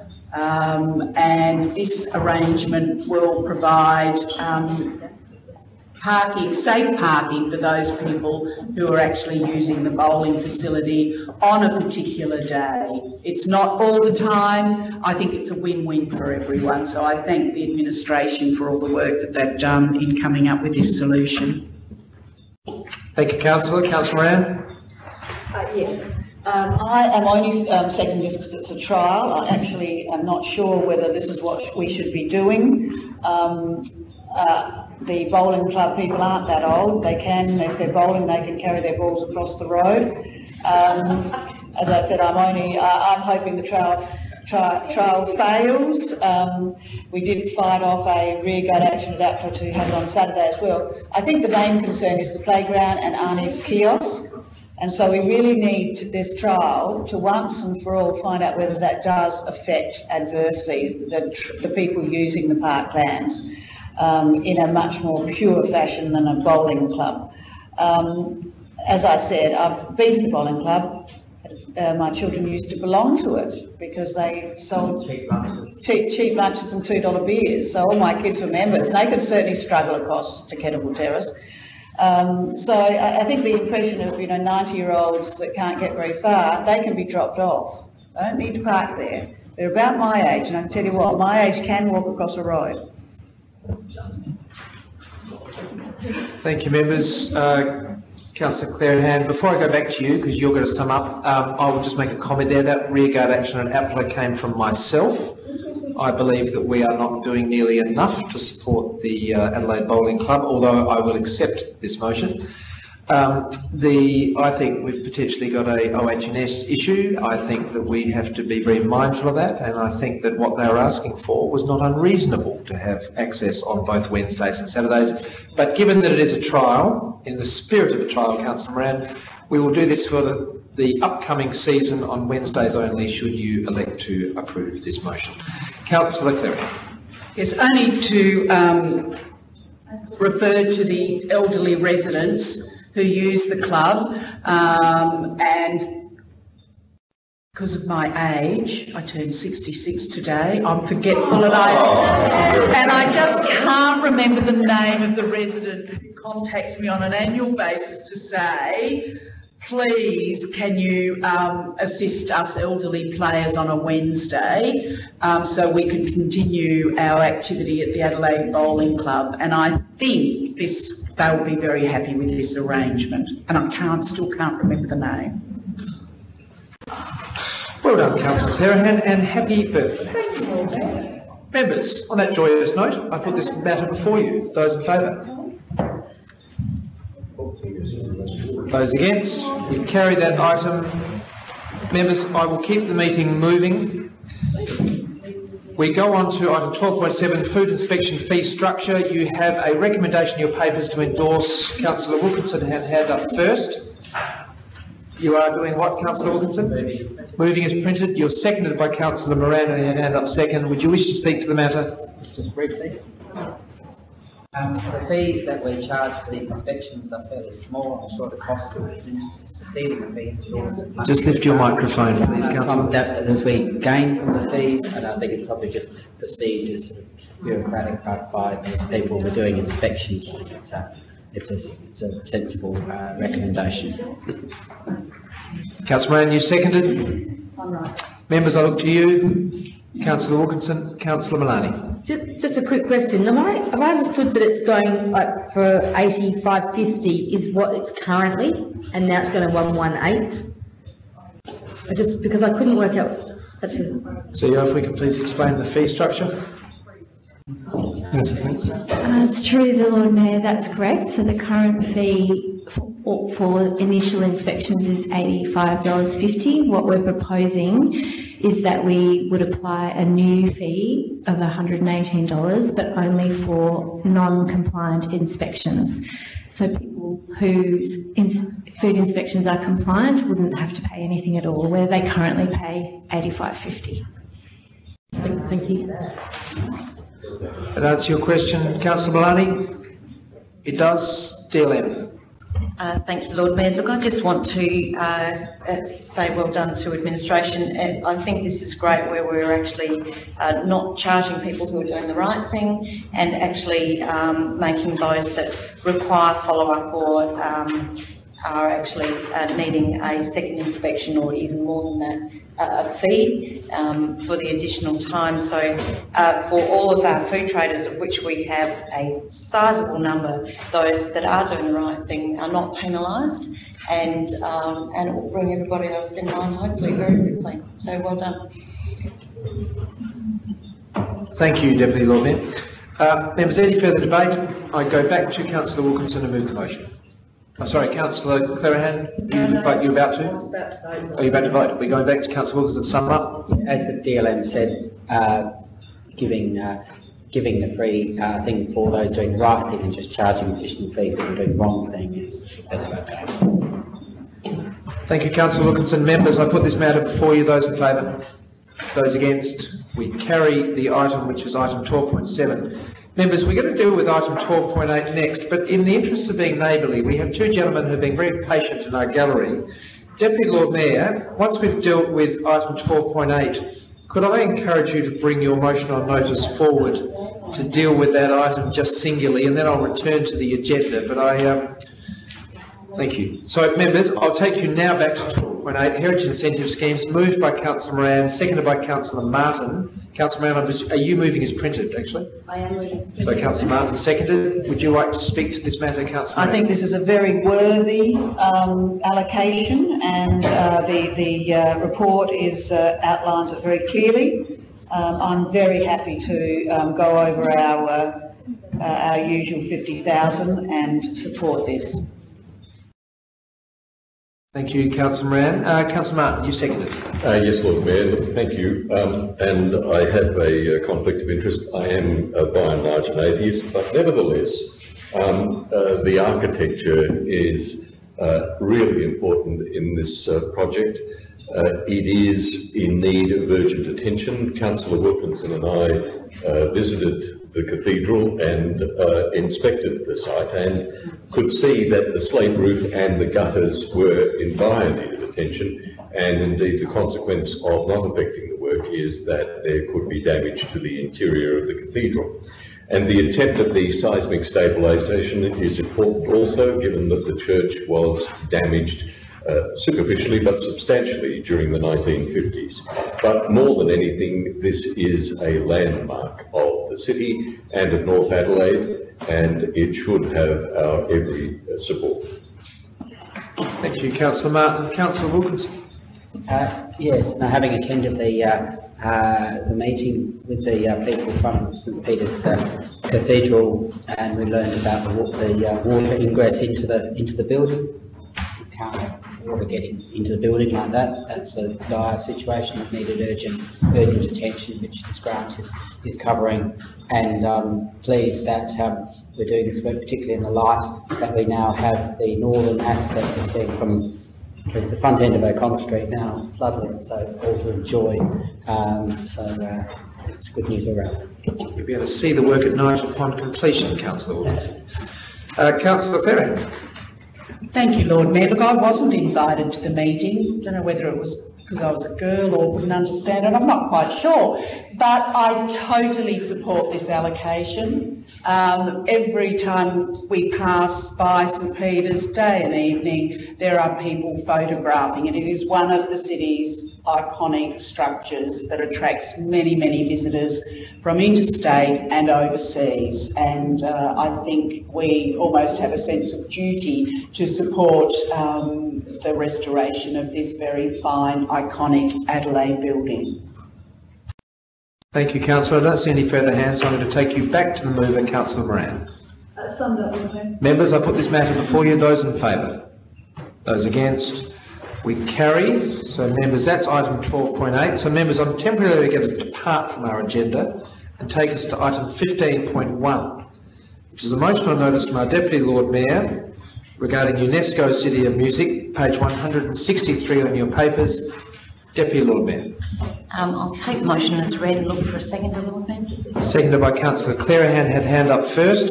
Um, thank you. Um, this is really to, to talk to our UNESCO status. So we were granted UNESCO status in 2015 and it is a, uh, a very great honour um, and we need to do much more to celebrate this. Um, I note up there is, uh, I'm very short-sighted by see Troy and I'm see David Bryce, who are both um, a big part of uh, the music uh, push in our city. So welcome and thank you for sitting through our agenda. Um, Really, I I'd also like to bring your attention to this article in the news that some of you have seen in, um, uh, on Sunday, the 25th of February. Um, Enrico's not here tonight, but he's standing under Cold Chisel Lane. Um, all around the world, uh, cities have acknowledged sort of their music heritage, um, and some of some of those are fabulous, like you know, sort of John Lennon Drive and Paul McCartney Way and things like that. We've actually got rock pedigree in our state and music pedigree, not just rock and roll, but um, you know, we didn't quite build the city on rock and roll, but we've actually had some amazing uh, people that have worked in the music industry here. And it can have benefits on a social, cultural, and even on a tourism way if we actually are clever about how we go about it. So what I'm asking in this report is actually for administration to have a look, uh, a look at, in terms of our background, um, some laneways or areas that actually could possibly be named, and also that would benefit the businesses and, and the, uh, the areas that they're in, and then give an indicative cost and some planning around that. Um, I think it would be uh, a, a wonderful thing to do and a lot of fun, and you know, it's the thing that what people want to photograph themselves by that laneway um, or, or that avenue. So thank you, ask for your consideration. Thank you, Deputy Lord Mayor. Councillor Clearihan, you second the matter? Um, thank you, Lord Mayor. Yes, I think this fits in beautifully with our UNESCO City of Music um, um, membership. And someone was only speaking to me yesterday about a visit elsewhere, overseas, and uh, they were talking about um, a, a mural roadmap where lots of tourists would actually follow um, a city map of murals around, and I'm thinking, well, in terms of council owning lots of laneways or being responsible, we perhaps might even consider the addition of the appropriate um, mural where people can not only find the particular laneway and sign, but perhaps a, an appropriate mural that further reinforces that. Um, we have a lower Lane, so, and that was certainly a quirky addition and Cleo Lane. So um, we're halfway there. Um, I think there's, uh, it would be a fun, quirky, reinforcing gesture that everyone would really enjoy. And I thank uh, the Deputy Lord Mayor for uh, placing the motion on. Thank you, councillor Clearihan. Any further debate, members? DLM, back to you. Members, I put this matter before you. Those in favour? Those against? We carry. Gentlemen, thank you for your patience. Please do stay. No obligation, no obligation to leave. It's all excitement here in the council chamber. Um, the members, we have dealt with item 12.9 on your agenda, so I'm now going to take you to balance of items 12.10, 12.11, 12.12. We've got 12.10, which I'm going to encourage you to do in two parts, if I could please, members. The, we have got five draft motions for your voting delegate, which we will then determine after we have determined those five draft motions. So from page 152 onwards, you'll see motion one, two, three, four, and five. So members, we'll deal with those first and then we'll deal with the voting delegates who will then represent those motions. I think it's probably a reasonable way to deal with it. So members, could I please, I'm in your hands, um, I'd like us to deal with the five draft motions if you're happy with them and then seek a mover or what you'd like to do. So can I look to you please members? I'm happy to move those five motions. Okay, so councillor Clearihan, you're moving the five draft motions as printed. Okay, do I have a seconder, members? So, Councillor Martin, thank you. So members, do I have any debate on those five motions? There's six, sorry, Judy's whispering it to me. There is six draft motions, my mistake, councillor Clearihan. So we have councillor Clearihan moving the six motions, councillor Martin seconding it. Do I have any debate about that, members? We don't, so would you like to summing up, councillor? Okay, so members, I'll put those before you. Those in favour?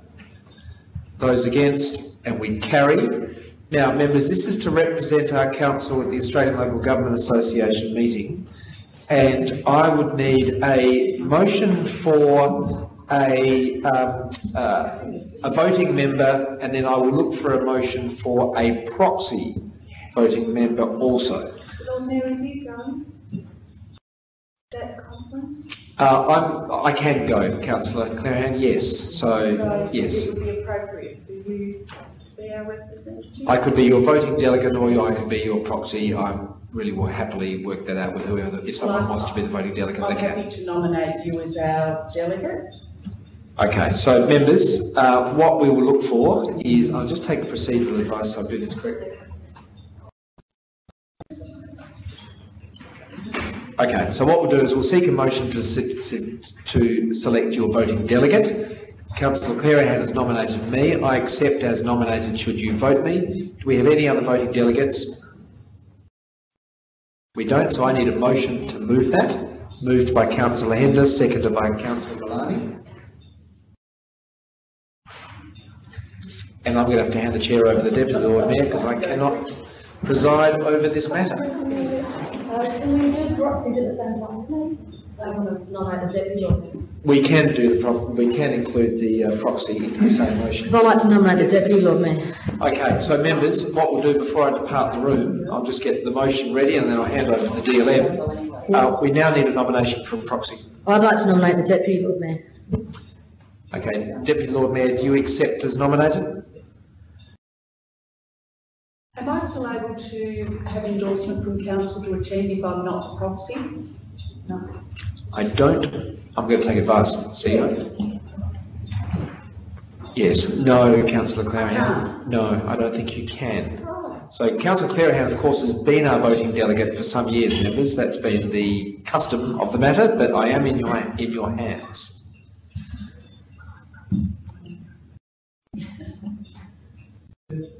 So, councillor Malani has nominated the Deputy Lord Mayor. Deputy Lord Mayor, do you accept as nominated? Uh, I, I I won't, Lord Mayor. Thank Okay. you. Do I have any other further nominations, please? Um, I'll nominate councillor Clearihan. Okay, councillor Clearihan, do you accept as nominated as the proxy? You do. Do I have any further nominations? I don't, so your motion before you is as what it is. I hand you to our DLM. and I shall return.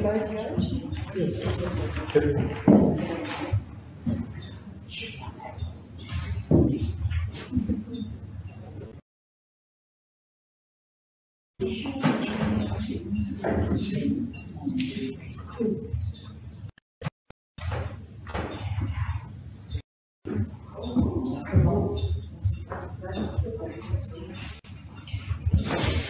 you, members. If I could have a mover and a seconder for both the uh, voting delegate and the proxy.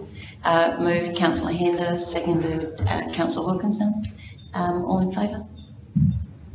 Thank you. Sorry, not in favour? Not in favour? Those against? Because I think the whole of government association is a giant waste of time. Thank you, councillor Moran. Thank you, members. Thank you,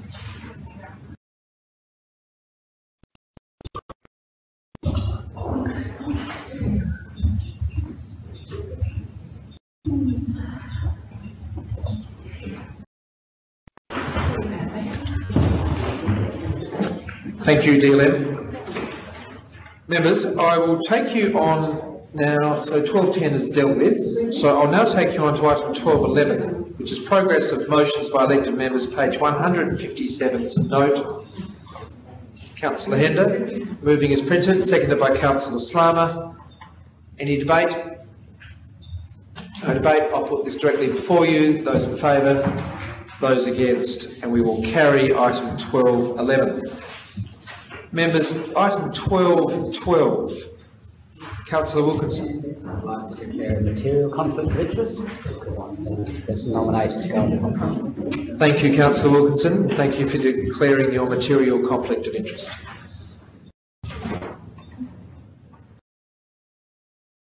Now, members, item 12.12 you have before you, which is Historic Houses Association of of Australia inaugural national conference. You have a recommendation before you to send councillor Wilkinson to that conference. Um, moved by councillor Clearihan as printed, seconded by councillor Moran. Any debate, members? No, I'll put this directly to the vote. Those in favour? Councillor Moran, are you voting? Yes. Those against? We carry that item. If we can please invite councillor Wilkinson back into the chamber, please, Ed.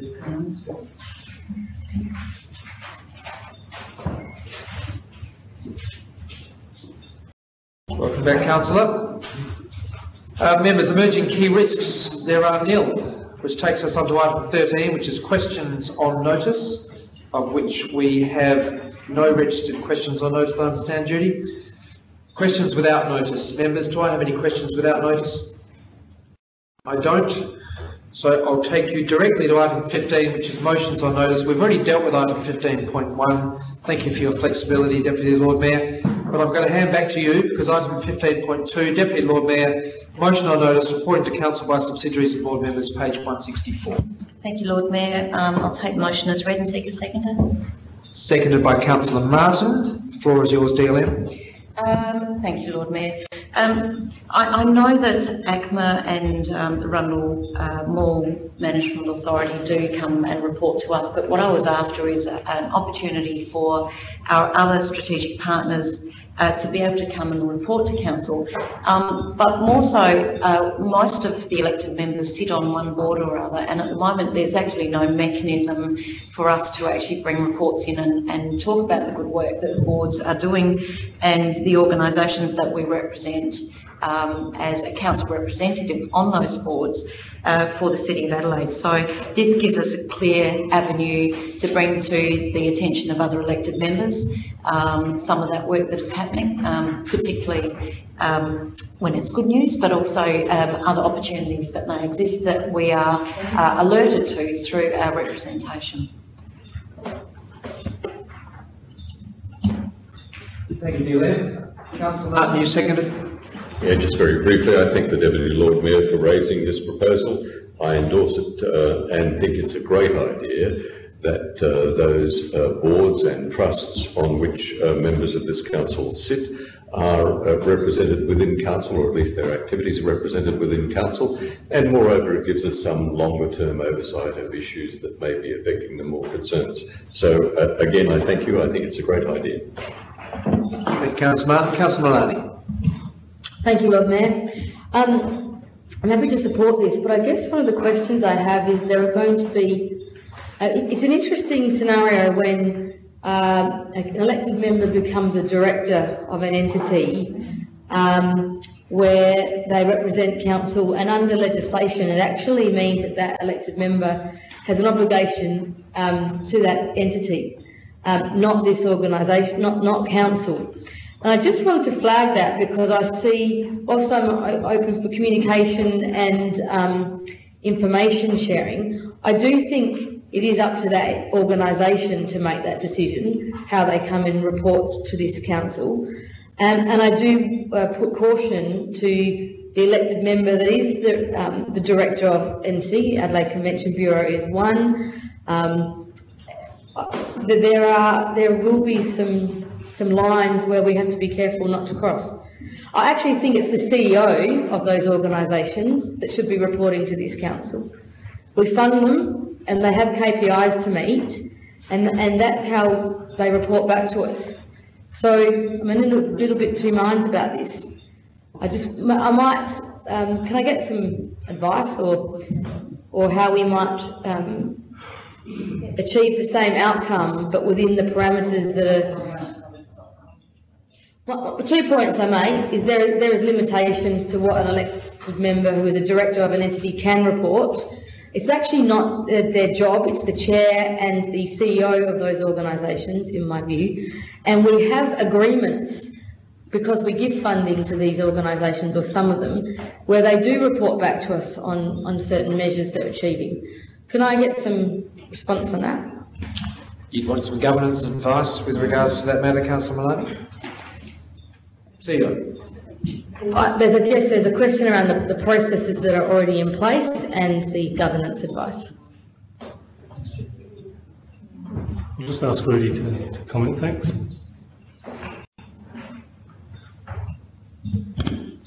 Through the Lord Mayor, indeed, the motion as it reads is for a request for a report to be presented. It's then of course up to the chair or the CEO or any other delegate to understand the boundaries of their fiduciary duties indeed, which is a valid point. That's why the admin comment also uh, refers to, uh, the, where, to the extent where lawfully possible. So that's the, um, the boundary that the, the presenter will need to maintain. Um, we are asking for a report and they can then determine what they want to report on, which may be of interest to council. So my suggestion is, Lord Mayor, looking at one, two and three, I think three is, point three is the problem. Um, and can I ask another question? Um, already in place, what mechanisms, CEO, are already in place where these um, entities have to report back to us based on funding agreements? They have, they have written, there are written agreements in place and how they report back to us. So we do have funding agreements with each of those entities, and, and that is prescribed within the agreements. Do you want to just finish that, please? Um, Through you, Lord Mayor. So each of the agreements would, it would be situational. We'd have to go back and look at each of the agreements to be sure exactly what the status is, but each of them do have a comment in relation to providing information and or formal reports back to council as part of the deed. And would some of those have um, confidential reporting? Like, would there be ta- targets or KPIs that would be in place that I'd have to take that on notice, council, if I could, to the exact detail. There, would- there are some that I'm aware of that would have KPIs as part of their funding, but I'm not sure the confidentiality aspect. My, my suggestion is that council invite, not request, that would be one thing to, to alleviate the, the, the challenge. And that we, um, the, the, um, point three, I have a, a real question about in terms of. Well, I- I'm trying to get to a point where I, I think there's some holes here. So I'm all for reporting back, but I don't think point three. Councillor, I have I'll assist you, concern oh, let let me assist you with your choices. Your, your choices are you can vote yes or no. Your choices are you can suggest a variation or you can move an amendment. So they are your choices on the floor. So the floor is still with you. Can I, I'll suggest an amendment. Um,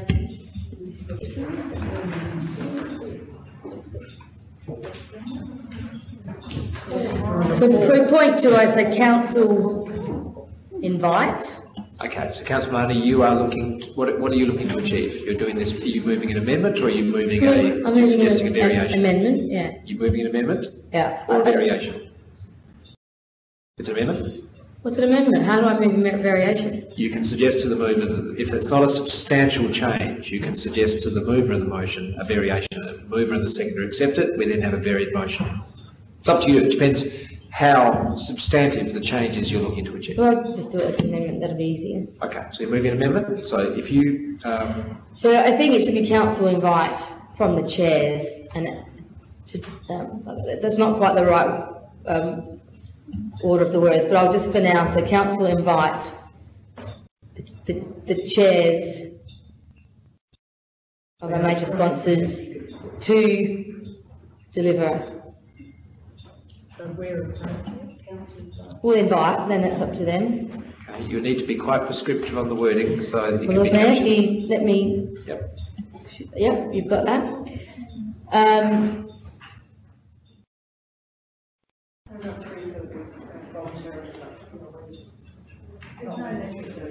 I, I, uh, I think delete three. That just means that we've got nowhere to talk to council. And Because I think that potentially puts the elected member in a compromised position. And, well, the, the, uh, the first one's fine. Okay, so members, what you have before you now is an amended motion to debate. Do I have a seconder for the amendment? Councillor Hender is the seconder. Councillor Malani, do you wish to speak any further to your amendment? No, I just think I'm, I'm just, I'm, I'm trying to achieve the outcome you're looking for within, and, and protect the, uh, under legislation, there are certain things that we can do as directors of, of companies. And I also think that there are a lot of mechanisms, mechanisms in place for two-way dialogue between council and all of these organisations. Okay, so I'm now going to go to Councillor Hender, then I'm going to go to the Deputy Lord Mayor who had hand up previously. Deputy Lord Mayor, I presume you want to speak to the amendment? You do. Okay, Councillor Hender. Yes, look, I, I support the amendment. I totally support what Councillor, what the Deputy Lord Mayor is trying to achieve, that is we get a line of sight to these organisations. But um, and some organisations are already doing it, and that's fantastic. Um, but I, I also have now that Councillor Malani has pointed out the um, paragraph three, I have a real concern with that. I think as one of the members of council who does sit on a board, um, uh, uh, that has a chair and a CEO who come and regularly report here, I don't feel like it is also my job to regularly report here. I, I, in fact, I would feel compromised doing that. Uh, I feel that it would be inappropriate. There are representatives of that board who come and, and formally speak as part of their uh, funding agreement and part of the arrangements. And, and for me to come and also speak would feel would make me feel compromised. On the other hand, there are times when I'd love the opportunity to speak with the approval of my chair and my um, CEO. I'd love to be able to do that when I wanted to report good news. So if, if my concern about paragraph three is it feels mandatory. While it's mandatory, I don't feel that I can do that. I haven't got permission of my board to do that. Um, I'm not the board's representative. I, I, I, don't think I can speak in that capacity. And I have to remember that while I'm a member of their board, that's their, my primary concern. Um, but if we could, if, there, if there's some compromise that might allow me to be given that opportunity at times, particularly when there's good news to share or even perhaps when there's concerns to share confidentially, um, with with the permission of my chair and my um, say, uh, uh, general manager, then you know I, I, can see there be some real benefit. I personally would feel compromised to be forced to do that annually. And I think the only thing I could possibly do is to bring the report that had been endorsed by my uh, CEO and uh, or general manager and chair, in which case I'd be adding nothing because they're coming on their, on their own. Thank you, Councillor Henderson. Members, you are debating a amendment. I now take you to the Deputy Lord Mayor and then I'll take you to Councillor Moran. Uh, thank you. Um, I'm actually going to be voting against this. I did actually take legal advice before I put the motion through, so I did have a discussion. I draw your attention to 2.3 of the response from administration, um, which is part of our standing orders in terms of our, our, our, our ability and um, to to report uh, on the activities of the boards on which we are. I don't have line of sight to half of the things that uh, we're represented, um, and certainly the major ones in our subsidiaries we do, and that's I know that is taken care of and done very well. Um, the rest of them we don't. We don't have an opportunity to uh, talk about the activities that are being undertaken. Good news whatever. Um, what I could, uh, I foreshadow that um, in response to what Councillor Hender just uh, said in terms of making it mandatory, that what I could do is change on that very last line that it says annually or as deemed relevant, and then it's not mandatory reporting, but it gives us the opportunity to bring information in as and when we feel that it is necessary. At the moment, we have no other mechanism. Members, Deputy can I just ask you to focus on the merits of the amendment or the otherwise of the amendment? And I've just foreshadowed. Yep. Thank you, Lord Mayor. Thank you, Delia. Okay, Councillor Moran. I'm happy to foreshadow those alterations to the original um, motion, as um, Deputy Mayor probably can't do that. Um, I think by deleting part three, um, Councillor said they agree with both, have completely neutered that um, motion. I've always thought, while we all accept the confidential part, having been on the motorsport board, um, that you can't bring confidential stuff back, there is just general information gathering, and I, I think councillors very disappointed to hear the two that feel that they can't haven't got, got the wherewithal just pop up and have a chat about the market or whatever you're on, Natasha. Um, you are the board's representative, you're also a councillor. And that is why we put you on the boards. And I do not understand what you think you're doing there if you can't uh, occasionally fill us in on the non-confidential nature uh, items that come up. It's, I, I think there's little point having you on the boards then, if that's the way you're thinking. Okay, members, any further debate about the amendments? Councillor Malani, summing up on your amendment. Um, Lord Mayor, I think there's a misunderstanding here. I'm not talking about subsidiaries of this council. I'm not talking about Rundle Mall. I'm not talking about ACMA. Under the Corporations Act, Deputy Lord Mayor is a director of the Adelaide Convention Bureau. Under the Corporations Act, it says that her her priority must always be to that organisation over her role as an elected member. She cannot, she cannot uh, choose to report back information that she chooses to report back to this council because this council asks. Her responsibility is to that entity as a director. So my, my point being that if we say that council, and I'm not talking about our own subsidiaries, I'm talking about those organisations where the elected members become a director of that entity under, um, under the legislation. It is, so I, I, I urge caution on this, um, and I ask, I urge you to support the amendment because I'm, I understand what you're trying to achieve, but I don't agree with point three. So members, you have a proposed amendment before you. We will vote on that. Those in favour of the amendment? Those against the amendment? Okay, so the amendment fails. It takes us back to the substantive motion which was moved by the Deputy Lord Mayor. Those that have, only those that have not spoken to the substantive motion may now, may now speak. I look to the floor. Councillor Moran, you haven't spoken, you can. Could I foreshadow a variation um, along the lines that the Deputy Lord Mayor enunciated? You don't need to foreshadow, you can do it. I can do it, can I? Sorry, I'll move the, Should the Deputy Lord Mayor agree to it, of course, and also should Councillor Martin as the seconder also agree to it. so we ta- we take out the word "and" in the last line and change it to, um, in, in paragraph three, to "or." Okay, Deputy Lord Mayor, you're happy with that variation. Councillor Martin, are you happy with that variation? Yes, I am. You are. Members, are you generally happy with that variation? You are. Okay, so members, do I have any further debate on this matter? I- So Councillor Mann, you've finished? We have a motion, we have a substantive motion as varied. Councillor Wilkinson. I just have a question of uh, administration in terms of the legal matters that Councillor Malani's, I think perhaps we could have some response on that, or if there is any, uh, in the event that there is some legal problem, how would that be dealt with subsequently? Is there some, just being Okay, so you'd like some legal governance advice, um, CEO? Through you, Lord Mayor, we have already provided that advice in the commentary. Um, Nothing further to add, Rudy? No?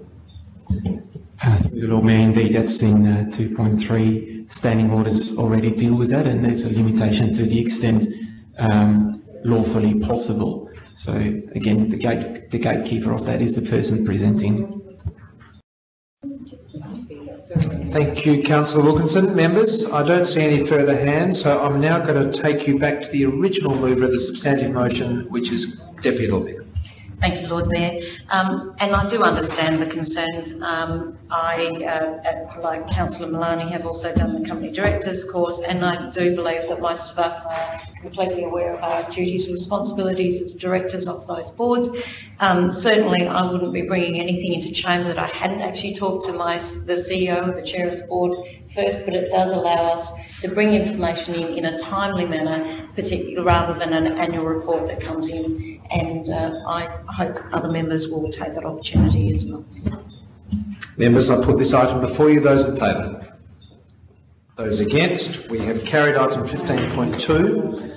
Members, the last of our motions on notice this evening is Councillor Wilkinson, item 15.3, motion on notice regarding Her Majesty's Theatre Metropolitan Hotel, page 166.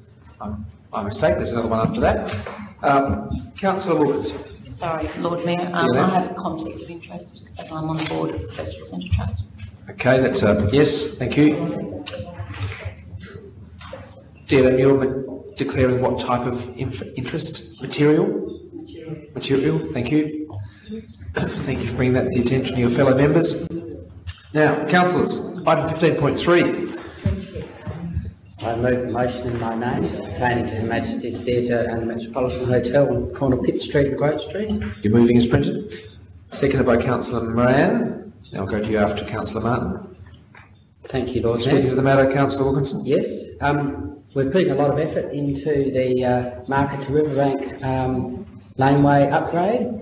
And uh, in the, um, when we had our review sessions in the design room, one of the things I identified as one of the best opportunities for Pitt Street, which parts of the Pitt Street is the Pitt, some of the ugliest buildings in Adelaide in parts, which hopefully we're hiding with trees. But the southern end of Pitt Street is flanked by um, the um, Metropolitan Hotel on the east and the red brick side wall of the uh, of the Her Majesty's Theatre. And uh, it was when I learned that the intention was just to repaint that rather than to bring it back to the red brick, um, which is certainly what I'd indicated we should be looking to do, that, that precipitated this motion. And the thing is, we're trying to tie in with the red brick character of the markets, doing a lot of effort in that space. We're restoring the market buildings themselves. Um, so we really want to reinforce that sort of red brick market character in the, in the precinct. And um, and also basically if the wall is stripped back to red brick and floodlit, as I've suggested, it will look magnificent and it will be done once as opposed to if it's painted, then it becomes something you have to be recurrently painted every seven years. So that's why I've done that thing about looking at the cost of uh, the, the additional cost. They're going to have to scaffold the whole thing to paint it. So if they're going to go to the scaffold, why not just go the extra length and, and use some of our funds from our uh, uh, market river bank thing to uh, to make that happen. Um, and then with the uh, Her Majesty, uh, with the Metropolitan Hotel on the other corner, the archival photographs show the full veranda that they had onto Grote Street. If, again, if we're putting effort into the public realm here to sort of make an approach to the owners uh, and the lessees of that, and potentially with something more generous than we might assist, assistance to make that happen would be would be a great thing for the precinct. So that's the the thinking behind it. Thank you, councillor Wilkinson. Councillor Moran, followed by councillor Martin. Councillor Moran. Councillor Martin. Uh, Lord Mayor, just to say that I support the motion uh, and uh, note that we are voting on an investigation into the proposals outlined by Councillor Wilkinson. I thank him for the motion. I can see his vision, uh, particularly for Her Majesty's in Pitt Street, uh, the site of that red brick wall lit up uh, in an environment where there is a renovated central market with a similar facade uh, suggests that it would be very attractive. And the historical photos that he supplied in relation to the hotel and the now disappeared balcony uh, demonstrate just what a great building that was with the balcony intact. And I think it could uh, it could look wonderful again, pending uh, the outcome of the investigation to determine whether indeed uh, either of the proposals are feasible. Thank you, councillor Martin. Members, no further hands, so I'm going to, councillor Moran, you reserved your right. Councillor Wilkinson? Members before you, those in favour? Those against? Item carried. Members, that takes us on to item 15.4. Yes, we can bring our Deputy Lord Mayor back in, please, Ed.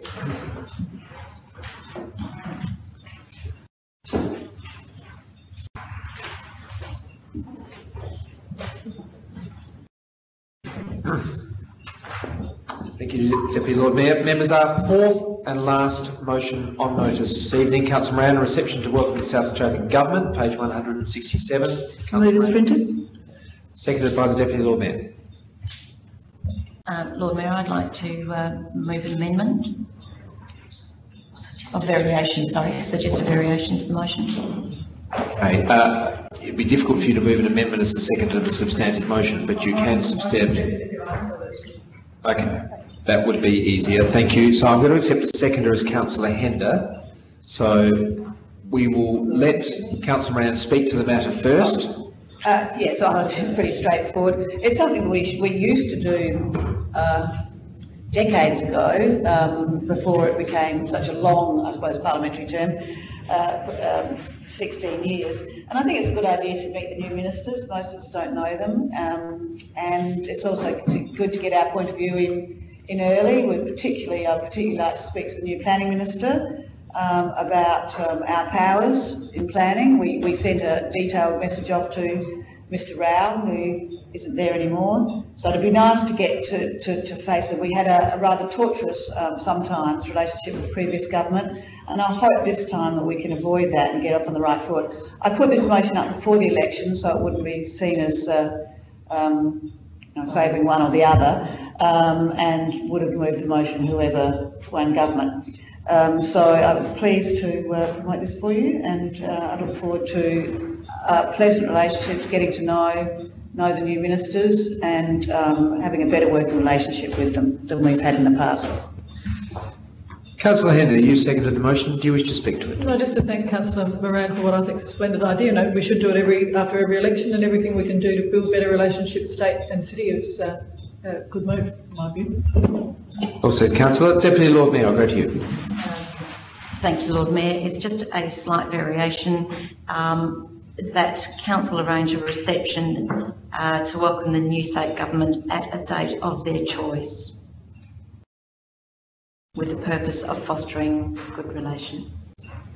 I'm happy to accept that variation if my seconder is. Thank you. Your second is Councillor Hender. You're happy to accept that variation. Members, I look to you for your comfort around that variation on the motion. We have it. Do I have any further debate about this, members? Councillor Moran, back to you. Members, I put this matter before you. Those in favour? Those against? We've carried item 15.4. Members, item 16, motions without notice. Do I have any motions without notice, members? Councillor Hender? I have one, Lord Mayor, which is coming up on the screen. Um, and, um, so I put that motion, which is there. Could you read that out to your fellow councillors, please, Councillor Um, Hender? So the, my motion is that council notes the condition of the new landscaping around the eastern portal structure of the O-Bahn City Access Project appears to be in poor condition and requests a report from the administration on the landscaping associated with the O-Bahn City Access Project that includes consideration of the following. The proposed O-Bahn City Access Project landscape design, the current condition of the landscape works adjacent to the eastern portal structure, and a proposed approach ensure, should be to ensure that landscaping is reviewed, oh sorry, ensuring that landscaping is reviewed to ensure that it screens and softens the eastern portal structure, including new fencing along the bus only road. Now, members, before we proceed with this matter, my role as your presiding member is to ensure that you have a fully informed debate. So that is the lens through which I will filter everything that you put up from the floor. But members, on this matter, you had design room sessions, you had presentations, I understand, in 2016 and possibly 2017 from members of DIPTI. So I will make a value judgment that you would be reasonably, if not well informed about this matter, so I will allow this motion. So I look for a seconder. Councillor Wilkinson. Councillor Hender, floor is yours. So thank you, Lord Mayor. Look, I had an opportunity today, a reason today, to have a look at the um, Portal and Rymill Park and an opportunity to compare what we thought we were going to get with actually what we have got. Um, the, the landscaping work there has been completed, um, but it in no way matches um, the vision that was um, that, that we, we were, I think, um, led to believe would appear. So what we anticipated, certainly what I anticipated after those um, briefings and design room meetings and others, uh, and other um, drawings, was that um, the uh, the landscaping would be done in a way that would first of all shield um, and, and hide the fencing, the, the safety fencing that, that appears around the portal, around the tunnel part of the portal. Um, and the, the, the landscaping will be done in a way that really enhanced the parklands in that area. Um, particularly so that, for example, people who were um, playing in the playground or um, on the um, lake uh, would have a protected view so that they weren't looking necessarily at um, industrial fencing around a, a portal. That's not what has appeared. What's actually appeared, there's plenty of things planted there, um, but the landscape architect that I was with told me that most of it was ground cover.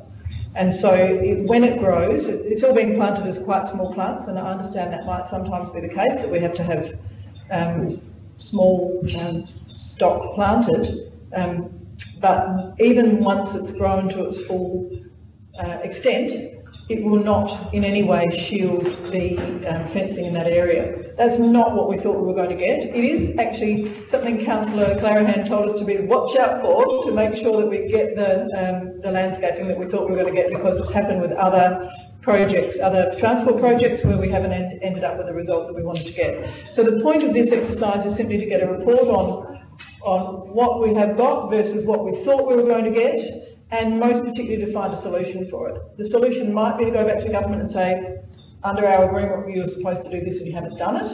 I'm not sure if that's the case. Or it might be to say, under our agreement, you've done exactly what we agreed, but it's actually not great, and we as custodians of the parklands need to step in and finish it. So I, I'm, I'm not particularly concerned what the outcome, what, what the methodology is, but what I am concerned about is that what we end up with is a beautified bit of parklands where that necessary piece of uh, transport infrastructure is as shielded as possible by foliage and, uh, and plant uh, and plants from the other users, from the, from the, from the point of view of users of the parklands. We use this as an opportunity to beautify that section rather than be left with what looks like a dirty great road, a fenced road running through our park. Thank you, councillor Hender. Councillor Wilkinson. Um, Yes, I uh, attended the inspection of the final um, tunnel with uh, some of the other councillors and discussed about the landscaping and the trees and spe- specifically. And um, I thank councillor Hender for this motion. Um, And what was discussed um, with me, with, with council staff, is that the government is sort of handing over sort of a thing that's within their remit, but after it gets handed over, council has the opportunity to look at the landscaping in the vicinity of that.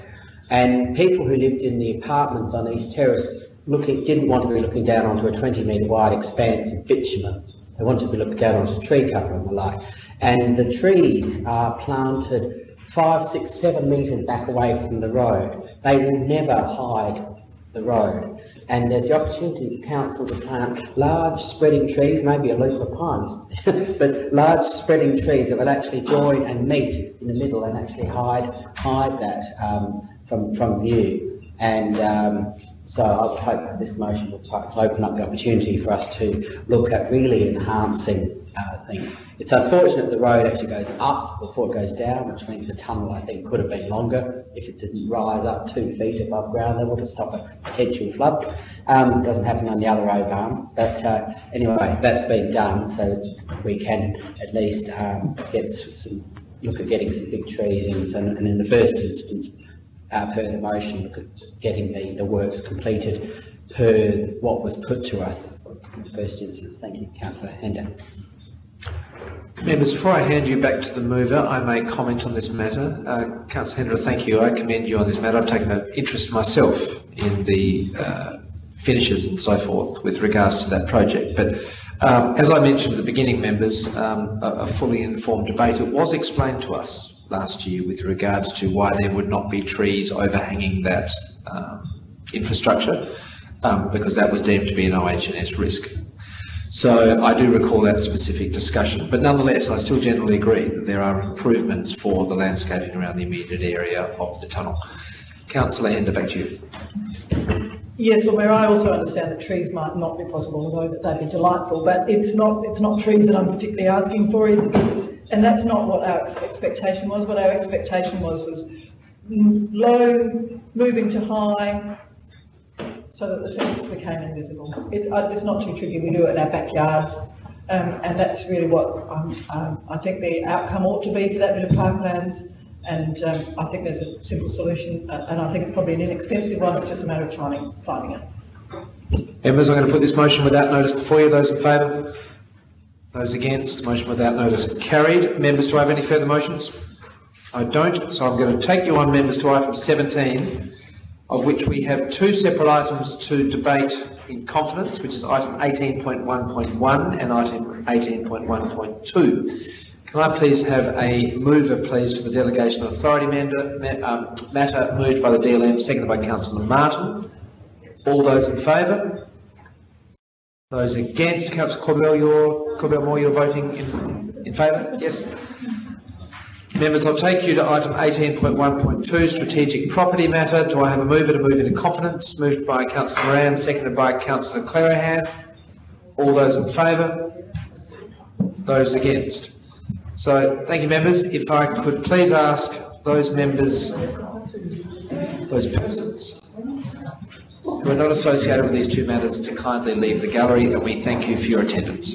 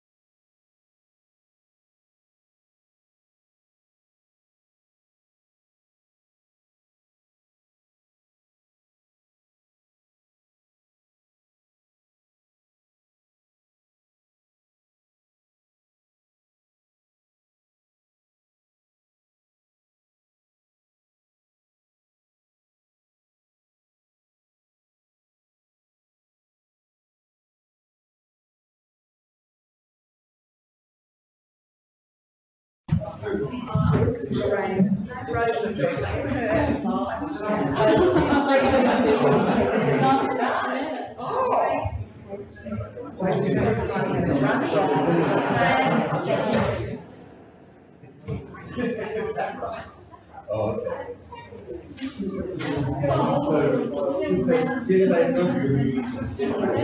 okay.